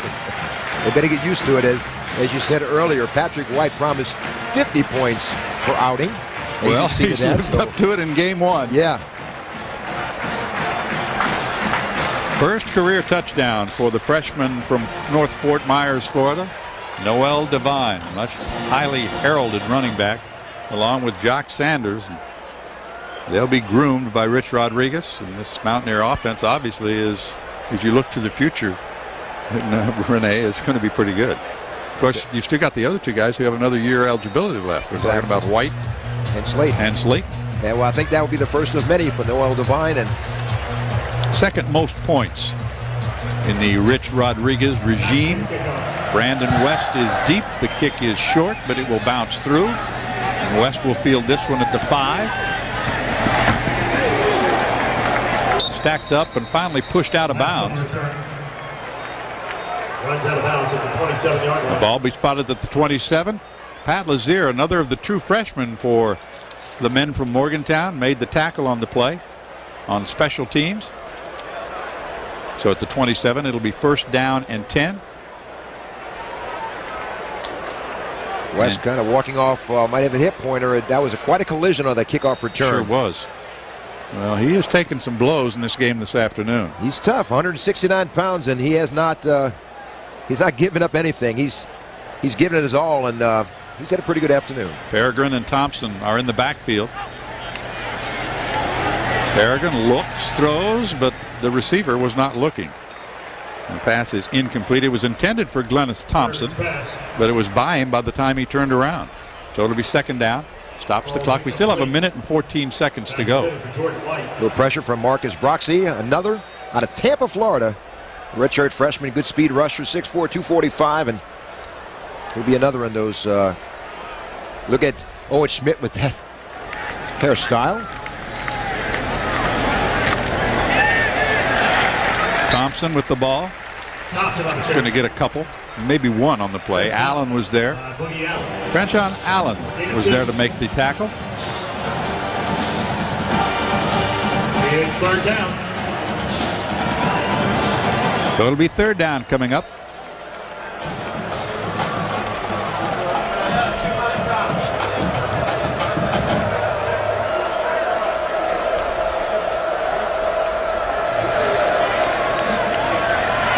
Pass is almost intercepted. Zach Cooper was looking to the end zone that time and just dropped the ball. He was anticipating a celebration. Just a sophomore, 6'3", 225, but boy, he stepped, he read that and stepped right in front of the lane, and that ball was his. He'll, he'll remember that next time. And it was intended for Nunez, and actually it was should have been gone into the end zone. He's a tough guy, you know, bounce back, tough physical, and good physical specimen at 6'3", 225. Fourth down, they'll have to kick. And Laney's done a good job in kicking.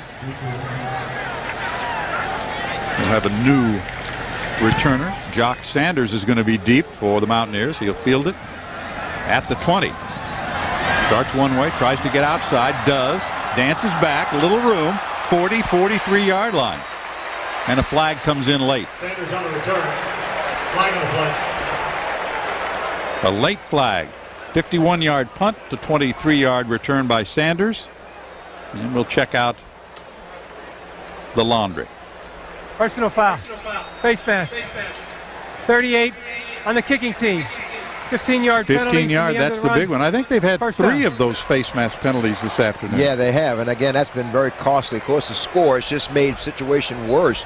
Uh, more of an uphill battle, but uh, you know the thing about Jock Sanders, you got to like why he fits this offense so well, John, is that he played wide receiver and tailback, so he fits so smoothly into this spread option offense because they slot him out so much. He has to be a good receiver, so he's very acclimated to the position he's playing here. 22 seconds remaining on the afternoon. Well, Renee and I have had a good time here in Morgantown. They're great hosts. Oh, the weather's been perfect. And we were treated to what we thought would be and was a spectacular offensive show. Come away with this trip. Very, very happy. It's been a great experience. And they'll go into the take a knee offense right here with Jarrett Brown running it. And Jarrett has played the entire fourth quarter. He scored a touchdown. And he will go down. And that will do it. Big, big win for West Virginia. The number three seeded, number three ranked team in the country rolls 62 to 24 over the Broncos of Western Michigan. Quick handshake between the head coaches, and Rich Rodriguez has his second most productive offensive game of his seven-year regime in Morgantown. So I'm sure he's going to be pretty happy, and he should shake the hand of that number 27 because Jamarco Simmons did a terrific job for Western Michigan. We've got more to talk about. We'll be back to Mountaineer Field in Morgantown with more on a 62.